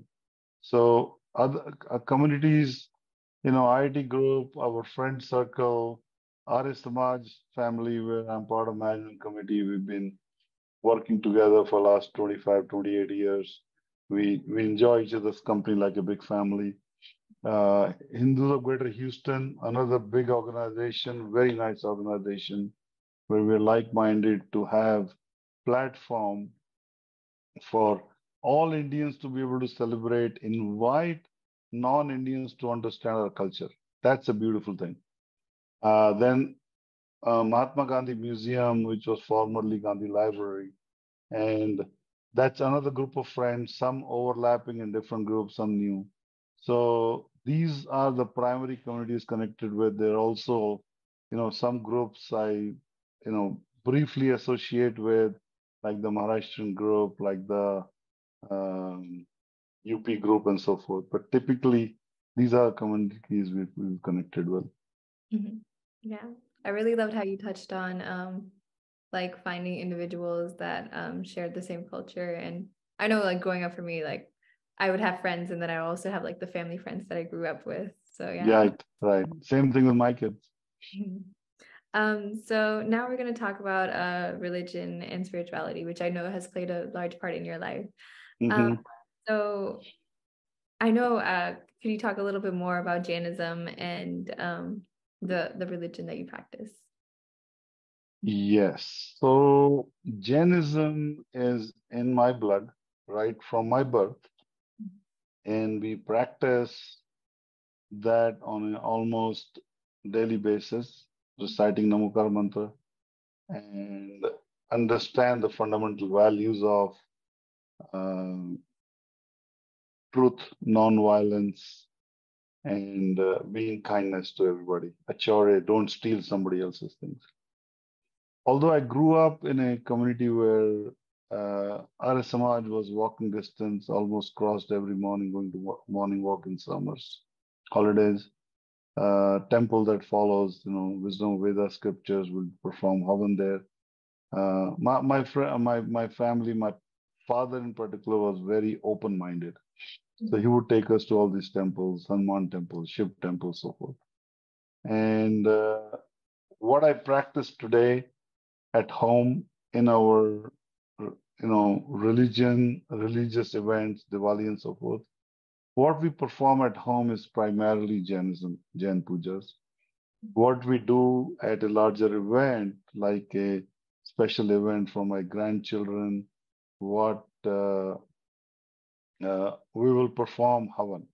If we are doing, uh, uh we, we will celebrate our birthday at Arya Samaj, performing Havans with Vedic scriptures. Uh, we would uh, you know participate in all the activities there. So we are closer to vedic values vedic scriptures in most of our but practicing both there is no difference you know Arya Samaj teaches us a kind way of life jainism brought us the same way all the all around my life uh, so there is really not a, a conflict it's more like a expansion of what I believe in, what we have grown up as and continue. Mm-hmm. Jainism, ahimsa is a very interesting thing mind, word, and deed. I am, you know, trying to be that. So vegetarian is one part, but I prefer not to kill insects. You know, you see a cockroach or something in the office, uh, I'll pick it up on a paper and throw them outside, let them in their own happy area. Uh, but stay the part of truthfulness, not falsehood. Because, you know, I don't know if you've heard this. What to hide one untruth, you have to make so many stories of untruth. False, falsehood always puts you in the wrong place. Truthfulness, howsoever hard it may be, uh, just stay on that path. You don't have to make new stories for yourself. To to hide what you said once because you can't remember what was false. Mm-hmm. Yeah. Thank you for sharing that. Um, so can you talk about uh, your relationship with um, Jainism and how it has impacted your life? Um, I, I think I might have touched on it already. It's it's it's the same thing, you know. Fundamental belief that I'm there for is uh, vegetarianism, mhm, uh, em- emanating from ahimsa. mhm, If I can follow ahimsa to its true, I'm not because there are things we do today which are not necessarily ahimsa. Uh, ahimsa. You know, we get our homes sprayed, our offices, our businesses sprayed. We got to do that. But on, on a personal level, at a family level, whatever we can. So that's been the main thing. But Mhm. satya, achore, it's a, it's one of the teachings of Jainism. Achore means don't steal somebody else's. There's also one says aparigraha, which means don't collect. Have what you want, what you need, not necessarily what you want. We don't do that. I'm I'll be honest to tell you that right now. But at least the ahimsa, satya, and achore, I'm not going to take something from you that doesn't belong to me. It's um very interesting to see how um like your like vegetarianism and how it's connected to like Jainism at large and uh the whole concept of uh Yeah. yeah. um so um what do you find most beautiful about your religion? I think if you take it down to its message, it is giving you a way of life which is healthy, kind, and blissful. Mhm. If you stay on that path, you can't go wrong. Yeah, thank you about that. Um, and so can you talk about your role with uh, Arya Samaj um, and uh, of Greater Houston? Yeah, so my relationship started back in 94 when I took my older son to learn Hindi. That was the only temple that had Hindi class- classes then. Mhm. And as a result of going there and seeing what they were getting, they were also teaching Naitik Shiksha, which means moral science. We just wanted to give back in some form. So my wife will, uh, you know, it used to be like a potluck. I think she would uh, suggest, ask people, can I cook something? I will help clean, help the people who were cleaning. There, there are people who take responsibility on themselves, who kind of kind of got engaged, eh, involved in those type of processes. But it was at a very light level, although we'll go there every three Sundays of the month. Uh, slowly, I took on more and more responsibility, starting with the library. When we moved to new building from Highway 6 to the current location, I took over, you know, responsibility of holding programs, running the library, running the DAV Sanskriti school, uh, special programs.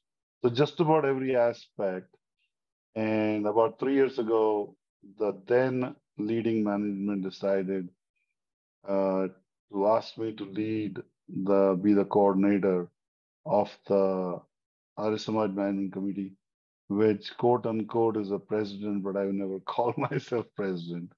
I'm just one other volunteer trying to coordinate various activities of Samaj with the help of 20 plus other couples who are all part of the management committee, hundreds of volunteers, and uh, take responsibility across temple initiatives, you know, uh, be collaborative with everybody instead of be only an Arya Samaj in our. So it's a it's a family to me. It is my responsibility to do what I can do to give back, grow the children program, grow the school, and so forth. Mhm. Yeah, that's really nice to hear. um, so are there any particular memorable experiences that you've had with Arya Samaj? Oh, it it it could be. I, I it's very tough. The best of all is everybody has respect for each other. When we want to accomplish something, you'll find two, three, four people come forward and say, "What can I do here?" Every Sunday when we go there for service, like I didn't go there today, uh, will be you know after eating the kitchen committee who does that. Uh, there'll be people taking out trash we don't have workers to pay somebody to take trash. Not that we can't afford, but they call it seva. we Mm. have to give back in our way. And a, a cohesive family atmosphere, an extended family with who you can celebrate, with who you can cry, with whom you can enjoy, you can play, have fun together, eat together. That's what is the most memorable about this particular organization, Samaj Greater Houston. Mhm. Yeah, I think um, that speaks very true to Arya Samaj, and also uh, I know my own experiences with Hindu worship has been the same. Like um, with my parents Yeah. and like afterwards, like they would make chai and everything. Right. It's very rewarding to be able to do something. Mhm. So true. Um, so um, is there um any uh, something you wish to impart on the next generation of Jains? I think, you know, there's a saying called there are no free lunches. When we go to temples, they're all they're really free lunches. I Mhm. would say don't take them as free. See what you can do for them. How you got here, uh, how you can help others get there, get the benefit. So give your part, give your little bit of part to give back to who's giving you so much. That's very beautiful. Thank you. um, so uh, I know you transcribed something for um, AJA. Uh, and Yeah. yeah, so that was written in Sanskrit. So can you talk about um, how you came to know the language and what values it has added to your life? See, in uh, back in uh, school, from sixth grade to tenth grade, Sanskrit was a subject, which was one required from six to eight, but I continued to learn through uh, tenth grade. Uh, when this little tapestry was sent to me, I don't remember who forwarded from Dr. Chao. Uh, I said, "Oh, I know this. This is Namokar Mahamantra, and that's the that's the one mantra every Jain recites. It's called Mahamantra. You know, you are in fear, you recite it. You are, you know, you are in pleasure, you recite it. So it just gives you a lot of solace. So when they wanted the engraving to be translated, so I asked, you want just the meaning? Say anything you can do will be helpful in English. And I know at Samaj we make the we have books, we have done transliteration and translation. I felt like I can translate this, but it will be nice to get transliteration so people can, people can learn pronunciation. Sanskrit is an extended Hindi alphabet. Actually, it's the other way around. Sanskrit is an ancient language. Hindi came out of that. So reading Sanskrit script is easy. Namokar Mahamantra is what I grew up with. I know the pronunciation, I know everything, I know the meaning. So it was an honor and privilege to be able to translate that, that tapestry, which is beautifully done. So, you know, that's how now Sanskrit is in all our scriptures. So I'm not going to say I know all of Sanskrit. It's just that it makes it easy to pronounce what mantra I'm speaking. It's easier when we understand when Acharya ji or one of the learned people explains the meaning of that mantra. So that has made me closer to our scriptures. If I didn't know Sanskrit enough, I had not learned this from growing up. Recitation of mantras, let it be Ramayana, let it be Gita, let it be uh, uh, you know Bhaktambar uh, and so forth. All the Indian, I mean, Jain scriptures, Vedas. Veda is something I've studied least, but of course, in pieces we have. So that's made an impact on life to make what I am, be able to do the best. Uh, if you don't know the language, you stay very far away. So Hindi is, is primary, but because Sanskrit, eh, Hindi came out of Sanskrit in some form, although true Hindi people will say that's not true. But in my mind, that's how I was able to learn Sanskrit and transcribe, I mean, find. So I did some research on getting the right transliteration and translation. But translation was easy because I knew the meanings. Yeah, Yeah, we're so grateful for you having translated. Not a problem. It was a privilege and Mhm. an honor. Yeah. Um, so uh, now I'd like to talk about your career and um, go deeper into your community involvement. Um, so I know you've touched on some of the jobs you've held, but um, if you could just give a short overview of the different jobs that you held during your life. So I, I started at Lockheed Martin as a database analyst, creating databases of the space station. Soon I went into finding a job who will uh, sponsor me an H1 and eventually green card. I got an opportunity with a company with which was developing chemical engineering software for plants. Whole new experience. Then that company had worked on funding and so forth. It was slowing down. It was, you know, laying off people. I was not one of them, luckily. Uh, some of my colleagues went to a different company in healthcare IT. They said, Sanjay, you want to come here? I said, sure, I'll go for interview. I got an offer to join them as a software engineer or software analyst, something like that. I joined that and we worked on various healthcare software, starting with you know, just common software, then with anatomy pathology packages, lab packages, radiology package. And then that company went under. We had a lot of layoffs. I wasn't laid off. and another company called ADAC bought us, and they put me responsible to build radiology information system with imaging. It had never been done before. I got a chance to work with IBM team uh, to work on digital imaging to send them across the web for reading. Primary project was for military to be able to send Gulf War was going on at the time we got this project to be able to send images from Gulf on ships to Walter Reed Hospital in DC so they can be read and diagnosis can go and the and the uh, troops can get good care. Big project, then we were bought by a company called Cerner, a very big company, progressing in the direction. And my my role as director of uh, engineering, director of engineering development at Cerner, I grew that product further to bring it to commercial installs, mm-hmm. commercial setting.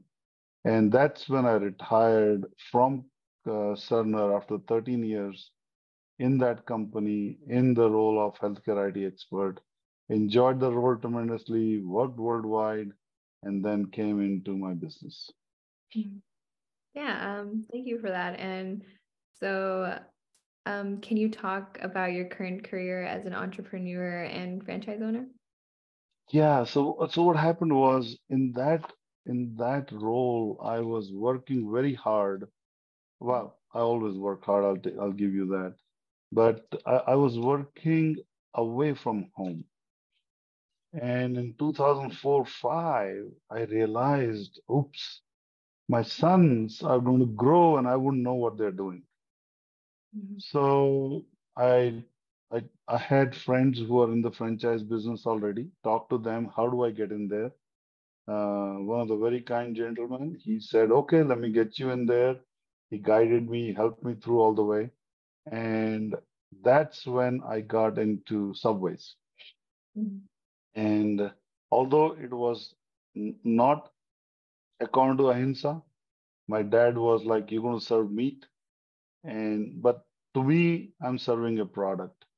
Uh, to what? So it is it is tough to get in that business in terms of getting in there, spending the money to buy some locations, but in addition, you know, against your basic principle, right? So then uh, that brought me closer to the family. I could stay home. That was the primary goal. Help work with the family, be here instead of being away all the time, and uh, and still work hard. It's a big learning experience, but I did it. Then when the time came, I, I took other uh, brands which are really towards Ahimsa, including Massage Envy, which is all about service. So I believe in good service. That's basically it. Yeah, that's very interesting to hear about um, how you balanced uh, your career and also your religious beliefs. Thank you. Um, so, can you uh, describe? Uh, can you talk about why you took a role in the uh, Building Standard Committee and how this allowed um, you to get involved in Sugar Land. Oh, very, yeah, thank you, thank you. Very interesting. See, I'm a, my background is civil engineering, right? I love the city I live in. And uh, there was a program called Sugar Land 101.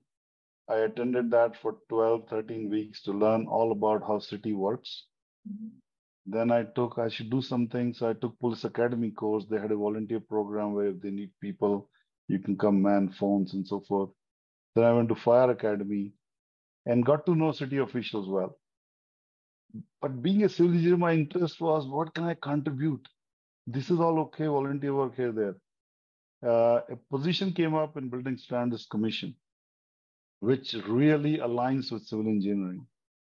So because we look at quality of buildings and there's problems and all that stuff, enforce the standards. And I participated in adopting new building standards, which are adopted by Texas State for a long time, and Sugar Land was behind. So when I applied, I was accepted, and then I took a little break for a few years. I got very busy with my home construction all that, and then I got back there two years ago, and I enjoy my time there. I get to meet city officials, I get to contribute in various areas, you know, different task force, uh, like a mobility task force we just finished in uh, two months ago. So it's it's enjoyable to give back to the city in some way. Same thing I said before. You know, if you're if you're if you're getting something, see how you can give back in your own way, and that's one of the ways I give back.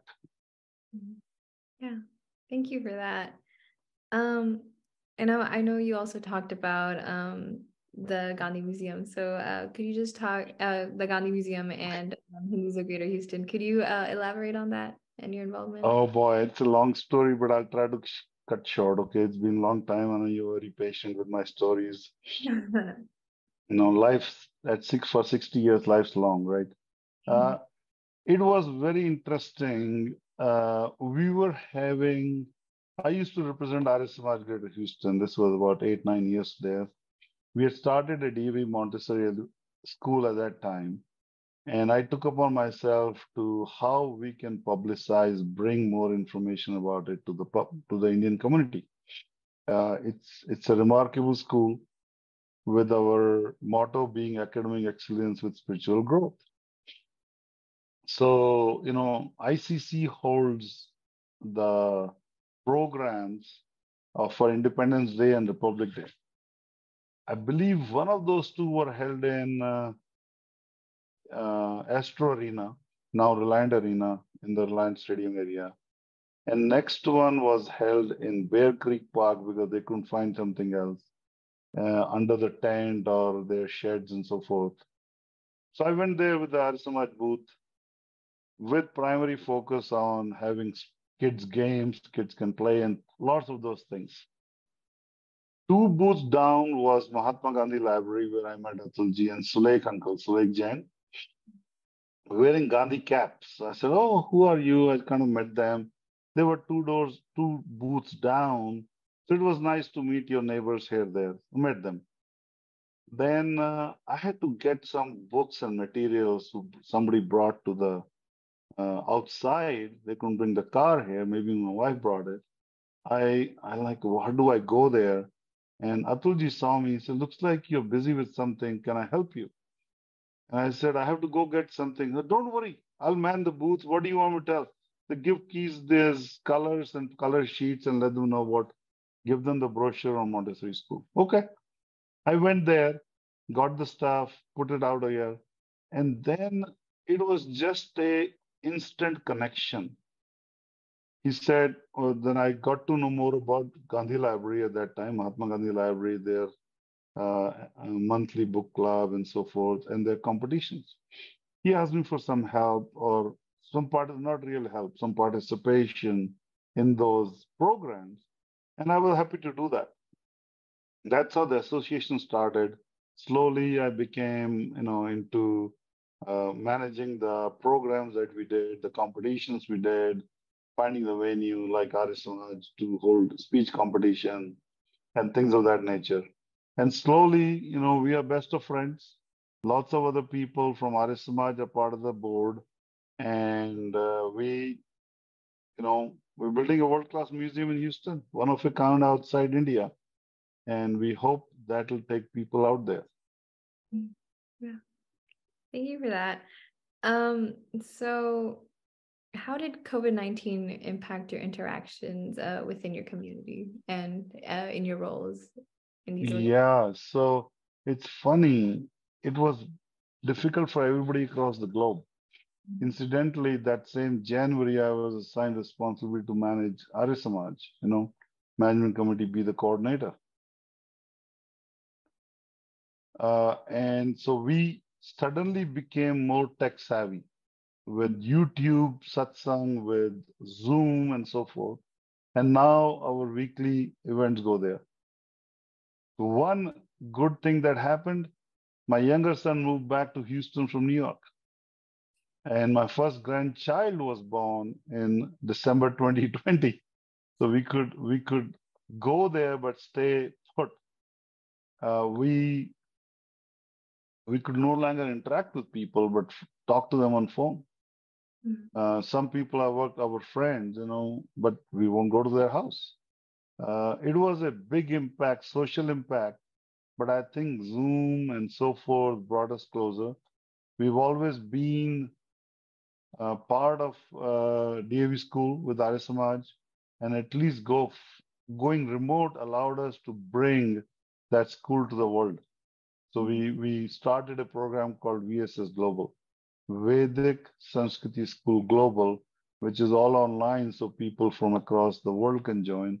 But typically, they were mostly from North America, almost 200 kids, of which half were half were from Houston. So I, I think you can take it with a as a problem. I think we did, and we found an opportunity in it to improve ourselves. Yeah, it's very nice to hear how um like an event that separated all of us, but ultimately it brought us together in many ways. Brought us together different ways, yeah. Um, so what are some short-term and long-term goals that you hold for the future? I think long term, I pray to God I stay healthy for as long as I live or pass away instantly. But whatever that life is, continue my my my community service service to our religion, service to our values, traditions in particular. And hopefully, my kids can take over my business in five years or so when I'm 65 to 70, be able to retire. But retire doesn't mean sit at home, continue my community activities in the city of Sugar Land with Arya Samaj, with Gandhi Museum. And maybe there will some other things that will come up which will interest me to grow. DAV Sanskriti School, you know, growing it more globally and so forth. Mm-hmm. Thank you for sharing that. Um, I have a one of so one of the longer questions, but um, reflecting from uh, from what we observe in the Asian American communities in Houston, um, although there are cultural centers, language schools, and religious teachings help uh, to help engage and educate Asian Americans uh, with their cultures and traditions, uh, we tend to see more active participation uh, from adults than younger generations. What, in your view, is the future outlook of those organizations? Well, very, very, very good question. I think this is what we talk about all the time. The future of these organizations, including those I'm involved in, is the next generation. We have to find a way to connect the next generation. I talk to our younger parents whose children come to school. You are the future of Arya Samaj join, give back. I don't use that particular phrase, but connect yourself, be more closer part of this family. Uh, our organizations will live very long. They're deep rooted. I'm not talking about just Hindu, all Asian American communities. There are Chinese churches. There are so many other cultural things that go on. Filipino School of Music and I, I know about so many because you know we we get them together for our major event for Gandhi Museum. But they, we have a desire to make this a successful thing. That's why you see more adults. Mm-hmm. We are able to have younger generation connect in some and they are flourishing.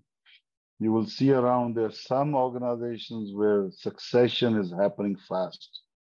I think we don't want to do it too fast. We want to give them time to adopt. We didn't give them time to be comfortable. But that is very, very critical uh, to have the next generation take over and step back. Mm-hmm. Yeah. Uh, you know, my older son was here.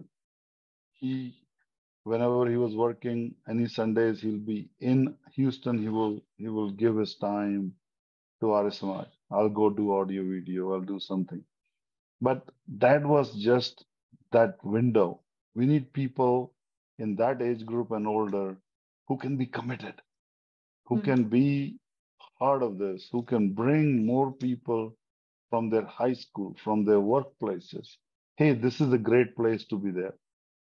And think about I'm going to commit, not just be there when told to do something. I'm committed to taking care of it. Mm-hmm.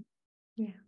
Yeah, as a young adult myself, I think we have a lot of moving parts. So it's a little bit more difficult to fully be able to commit. But yeah, I yeah. think um, the future of these organizations are going to be very strong and they're going to evolve um, with like the generations.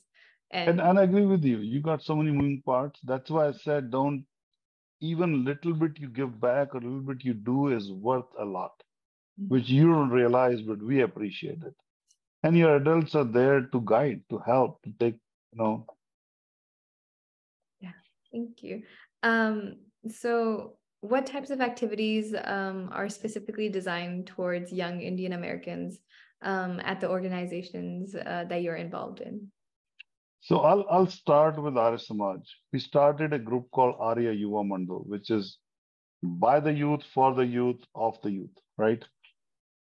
And the idea is for them to be involved, expose them to community service, expose them to our I mean, primary focus is expose them to our culture and let them understand the tradition, but at the same time, give back.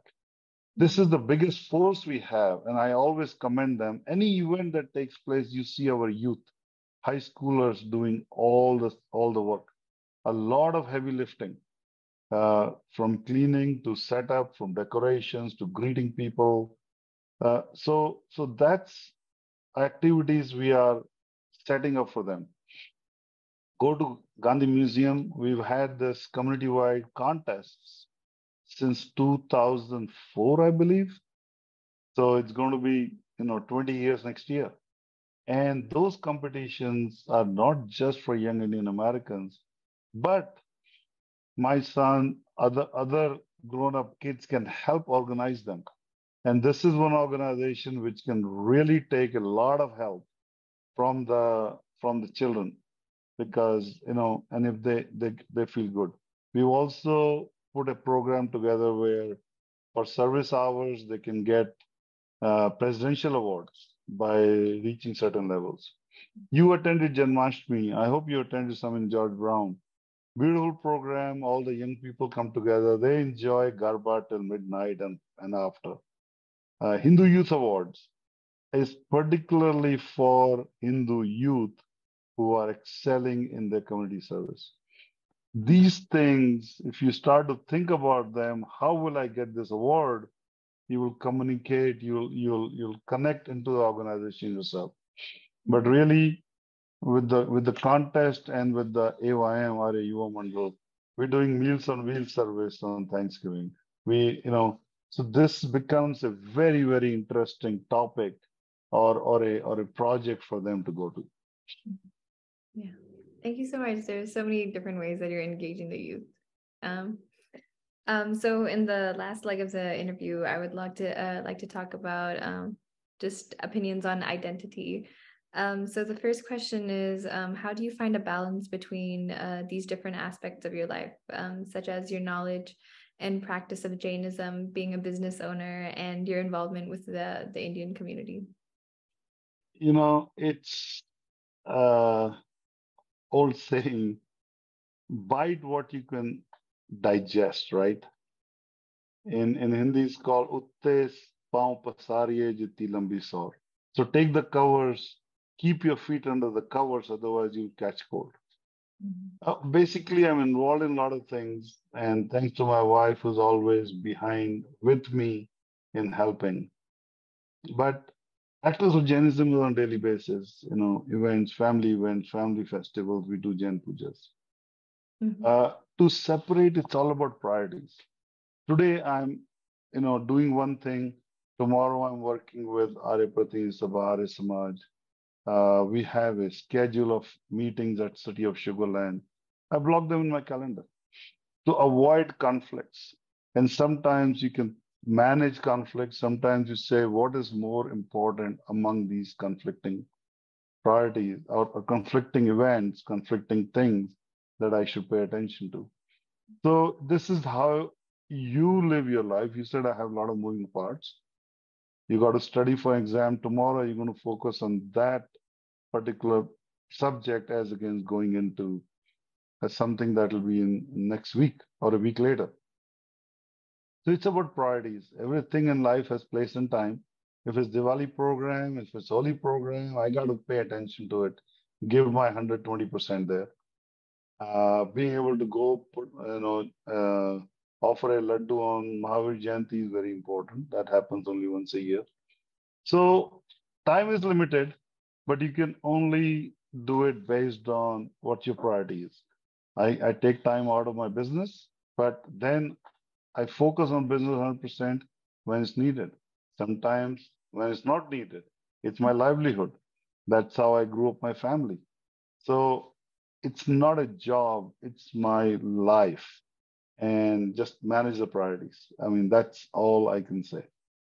But what I have done with all organizations which I which I've attended or worked with to develop processes. You know, so many things I did years ago are still being followed. Our uh, scoring rubric, our you know program guideline, how to how to fit the program in two hours, one and a half hours, whatever. So we try to do that managing, but everything has to be done in time, managing the time. Yeah, thank you for sharing your thoughts on that. Um, so I know you've uh, talked about um, some of the Asian American and Indian American communities, but can you elaborate on that? I think uh, what we have discussed so far, I think the generally what my feeling is the Asian American communities, including Indian Americans, are very well respected. We are generally, you know, professionals, business owners, kind in general, very rarely involved in criminal activities and so forth. I wouldn't say not at all. About 10 years ago, I could say no criminal activities with Indian Americans, mm-hmm. where we have initiated. But, and we, we respect each other. All the organizations, temples work together. You've mm-hmm. seen, you've seen Janmashtami program, you've seen Indian Culture Center program. We work together. We, we, we honor each other and I've gone far enough where we've interacted with some uh, Asian American schools to bring them to the competitions. So it's not just for Indians, it's citywide. And uh, uh, to preserve our culture is the language, is the food. I come back to food all the time, and our and and our behaviors. Mm-hmm. It's really nice to see the interconnectedness. Thank you for that. Um, so what are your hopes for the Asian American and Indian American communities um, in the US going forward? Uh, you know, generation by generation, things start to to to go lesser and lesser. I hope we find these places of worship, places of social interaction, which continues to bridge, now continues to preserve our culture and traditions. Have a place where not just our next generation, but the third, fourth, and fifth generation. We touched on that before. Have a place to be imparted that knowledge mm-hmm. and honor what they or respect what their legacy is. Otherwise, they'll just think it's a festival and we're done. Holi is not just a festival of colors. There's more more behind it, and you probably know that. Diwali is not just food and food and um, clothes or, or gifts. It's more than that. So there are good values behind it. And these places of worship, the uh, places of culture uh, preservation, are going to bring that, keep that here so our future generations can do it. My hope is this continues as well it is today with future generations. Yeah, I hope to see the same. um, so, do you have any advice for in, um, for people interested in uh, bridging cultures and nations? I, I think uh, you know White House celebrated Diwali. They also celebrate many events. Mm-hmm. I think when you respect each other, that's the best way to bridge. You don't just go there and say, "Let me tell you what Bible says," without being able to open to listening to what Gita says. You don't just go say, Gita is the only thing that's right. Well, Gita is what we believe is right. We follow it. Bible you believe is right. Let's talk about what are the positives both. Every religion, every culture has positive things they want to teach. And only when you you embrace your motherland and the the country or the community you live in both with open arms, you can bridge that culture and nations together. beautifully said. um, and so, one of the last questions I have is um, what do you regret and are most proud of over the course of your life? Uh, which one should I take first? See, regrets is primarily due to you heard the saying hindsight is always 2020 right? Yeah. But you don't have a crystal ball to see the future right? So if you would go back and do something different you'll get a better answer. You believe it. But if you count your blessings and thank god for what you have you don't really regret. Regrets would be minor oh, I missed my flight today because I did not take the right parking spot. Next time, don't repeat that mistake. I'm just kidding, okay? It didn't happen with me, but because I've traveled today. Uh, so if you learn from the mistakes and don't repeat them second and the third times, you have no regrets in my mind, okay? But if you repeat, do everything you've always done and not improve from your mistakes, you'll have regrets. So I believe on the other section, what I'm proud of, I believe God has been kind to me. I wanted to change from such a beautiful job developing all this software for medical needs, very noble to be able to send images across the world for reading and so forth. Very proud moment. But more rewarding is my family where they are today. Mm-hmm. And both kids have done good education. They're keeping up the values and grew with an addition of a lovely daughter in law. Now we are blessed with two beautiful children. I get smiles, you know, when I think about them. Mm-hmm. And these two grandchildren are love of our lives. So, as a grown up adult, what do I want? I have money to put food on the table, I have a house to live in, I have a very good family who cares about each other. Family grew with the addition of an equally loving child who's now part of our family. And, you know, we're keeping a good bridge between our culture and life in the US. We're not drifting away in one direction or the other, which I think will be injustice to either India or America or, or you know, culture here and culture from our families. So I think that's what I'm most proud of, be able to accomplish what we have. And God allowed me to change my careers and still still be successful. Mm-hmm. Yeah. I think over the course of the interview, um, your life has painted a very full and complete picture. And I'm happy to hear that. Um, so thank you. before um, I end the interview, um, I would like to ask, is there anything uh, you would like to share that you felt that um, was not um, uh, went over in the interview? You know, 60 years of life is very long. I truly appreciate how much research you did prior to in finding these questions. it's not easy to know this person. You know, you just came to know of a name back in uh, March, was it? Or early March or something.